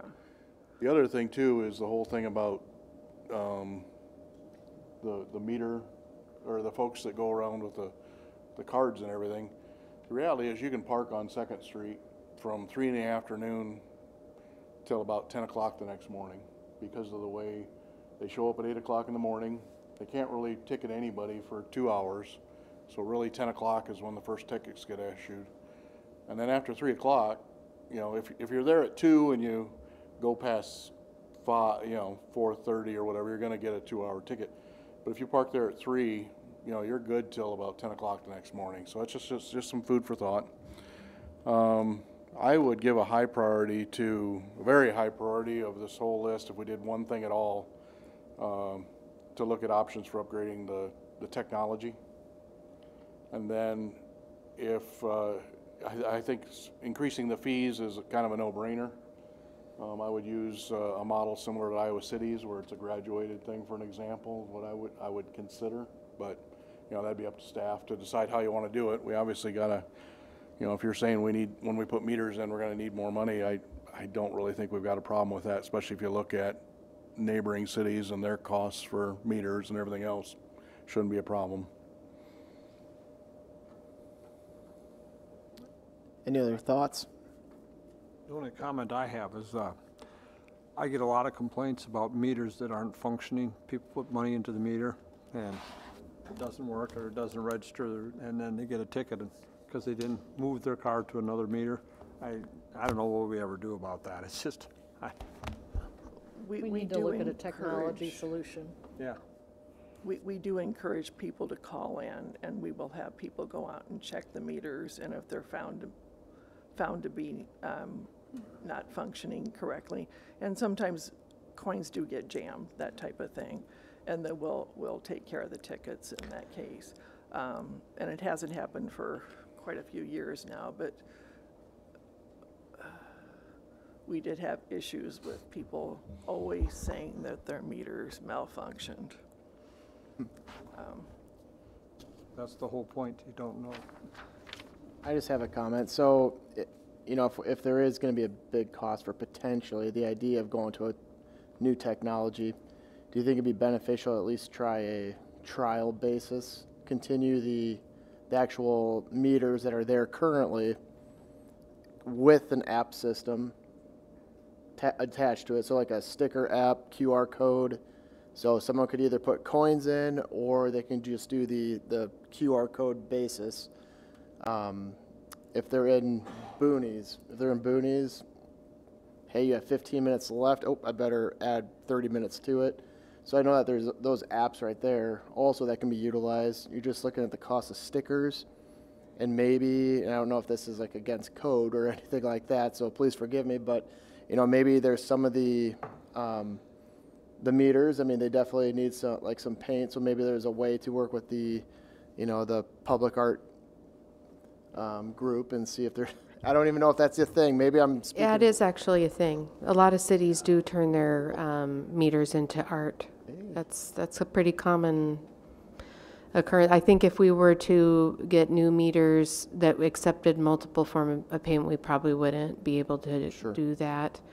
Um, Just the old meters, yeah. Yeah, I'd have to, in- we'd have to investigate. I'm not sure how we would sort of track the parking um, w- with a sticker. Like, there might be some challenges in that, yeah. So basically, yeah, Yeah. there's the one the the ones I've been looking at. It's an app, so they're they're walking around right now with uh, the electronic thing, and they're it shows how long they're parking there. But an app would also pop up as well, so it'd be probably a separate device. Which now you're carrying a couple diff- different devices. Where's the expense? What's that? What's the expense? The expense would be probably just the monthly cost of the service and downloading the app just to administer it. We could might take research. it out of the fee. We So could research some options there, I think, yeah. We need to see the technology vendor options. They need to come and sell us, Mhm. so we can see it. I think the committee, narrowing that down might be a great idea, but we need to keep moving forward quickly. Quite a few of the meters accept, they'll accept coins, card, or Mhm. app. They'll do, take any of those things, not a check, but everything else. I gave up once I took And I was just, just being mindful of the, the cost component of it, like doing a trial basis. And then if that goes really well, and if we're getting good feedback, then it would make sense to spend the three hundred or whatever thousand dollars it was to update. And, and I hope it's not that much money. Sure, well, me too. Right. Um, Just, the- just a- again, idea. but- The, um, just one thing I want to point out, though, if, um, there's a learning curve for if there was an app, and not everybody would be able to pick that up, and we do get complaints, or we used to, I haven't heard these for a while, is how come I got a ticket and they didn't get a ticket? You know, that type of thing. So I, I think it may be time to look at all the options. I And, agree. and then choose which way to go. Um, Does council want to look at, at least getting some information, having the uh, vendors come and talk to the team, basically? Yeah, I think we should, you know, staff should move ahead with, uh, in a process that's most efficient for them. I, like, uh, repeat again, that configuration isn't a problem, doesn't sound like, but I think everything else is an issue. And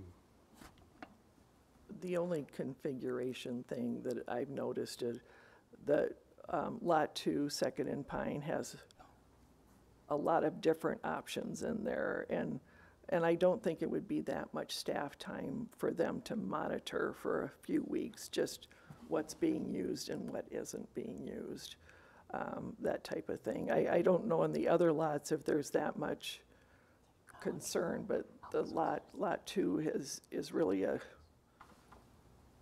kind of a, try not to say hodgepodge, but, but it is a, a, a number of different things that might be able to be improved. I can see that with lot two. I can see that with lot two. I like Lot Two. It is nice. But we gotta remember, like Pine Street is really part of the system too. We don't really count it, but Pine is all free parking, just like Mississippi Drive is. Um, You know, at least, at least the s- downtown side of it might be, and then maybe the other side is residential. I don't know how to split Pine Street, but it is, between that parking lot and Pine Street, that's a lot of parking. Lot of parking. A- And we do have a, a, really quite a few spaces and um, a good mix of businesses. And, and so if people aren't necessarily going to be able to park right in front of where they want to go, but, but hopefully they can find a place within reasonable walking distance. So, council consensus, the majority to move forward, at least to get a vendor to come in and talk with leadership. Yeah, probably, if, it- so just so I understand, we only want to work on the t- technology. I'm, I'm not hearing any other need to evaluate the system itself.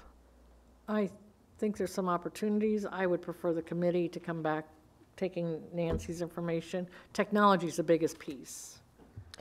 But there are, I mean, I think the processes are well-defined.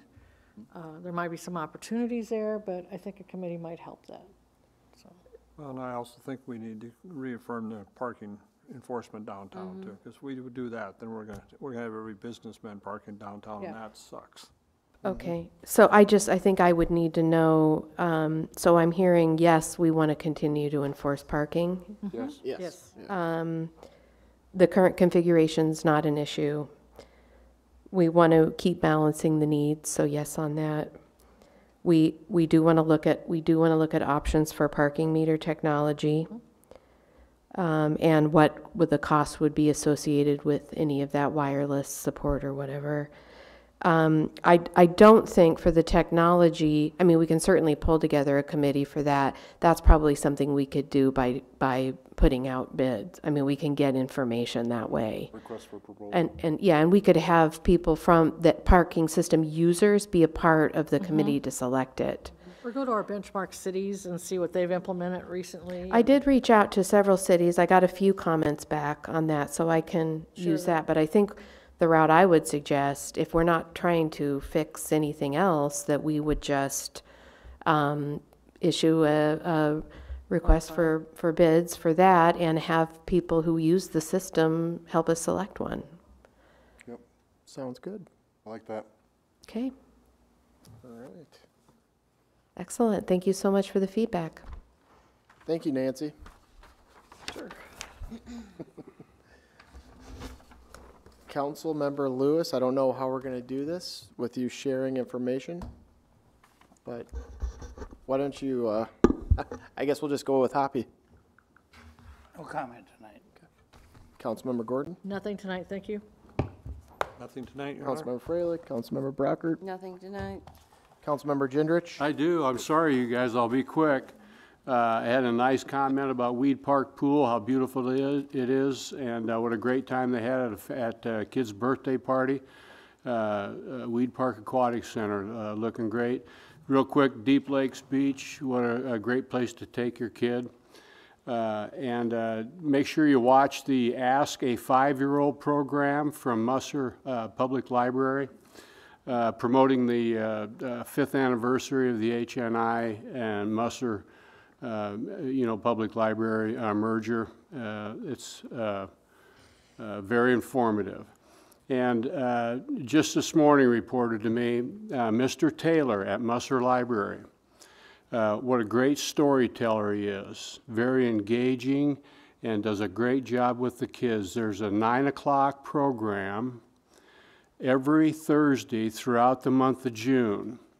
It's called Adventure, uh, uh, Adventure uh, Story, Adventure Story Hike. He tells stories, and they're out in the uh, woods and so forth. Uh, today they were at uh, um, Discovery Center, the 15th Saulsbury, the 22nd Fuller Park, and the 29th Wildcat Den. But hats off to Mr. Taylor and that program. That it's free, ages four to nine-year-olds. Uh, really uh, was just a, a great uh, event that uh, they put on today. So pass that word on about, especially about these uh, adventure story hikes. And get on the uh, webpage for uh, the library to get more information on that. Or call me, or text me, or email me, or email the mayor. And then I'll pass it to you. Okay. Anything else? Councilmember Osborne. Oh, and things to do, I'm gonna feature Muscatine's parks, um, and our cemetery, actually, Greenwood Cemetery. You know, we've got, we've got, uh, some great feedback that Carol shared with council, uh, voicemail. Uh, kudos to staff for that, that feedback. They, they own it and they've done a great job even, I mean, our cemetery is worth visiting, let alone the parks and everything else. Um, nice job. Krista, would you have anything you'd like to share? City Administrator Webb, For me. and I will take a motion to adjourn. So moved.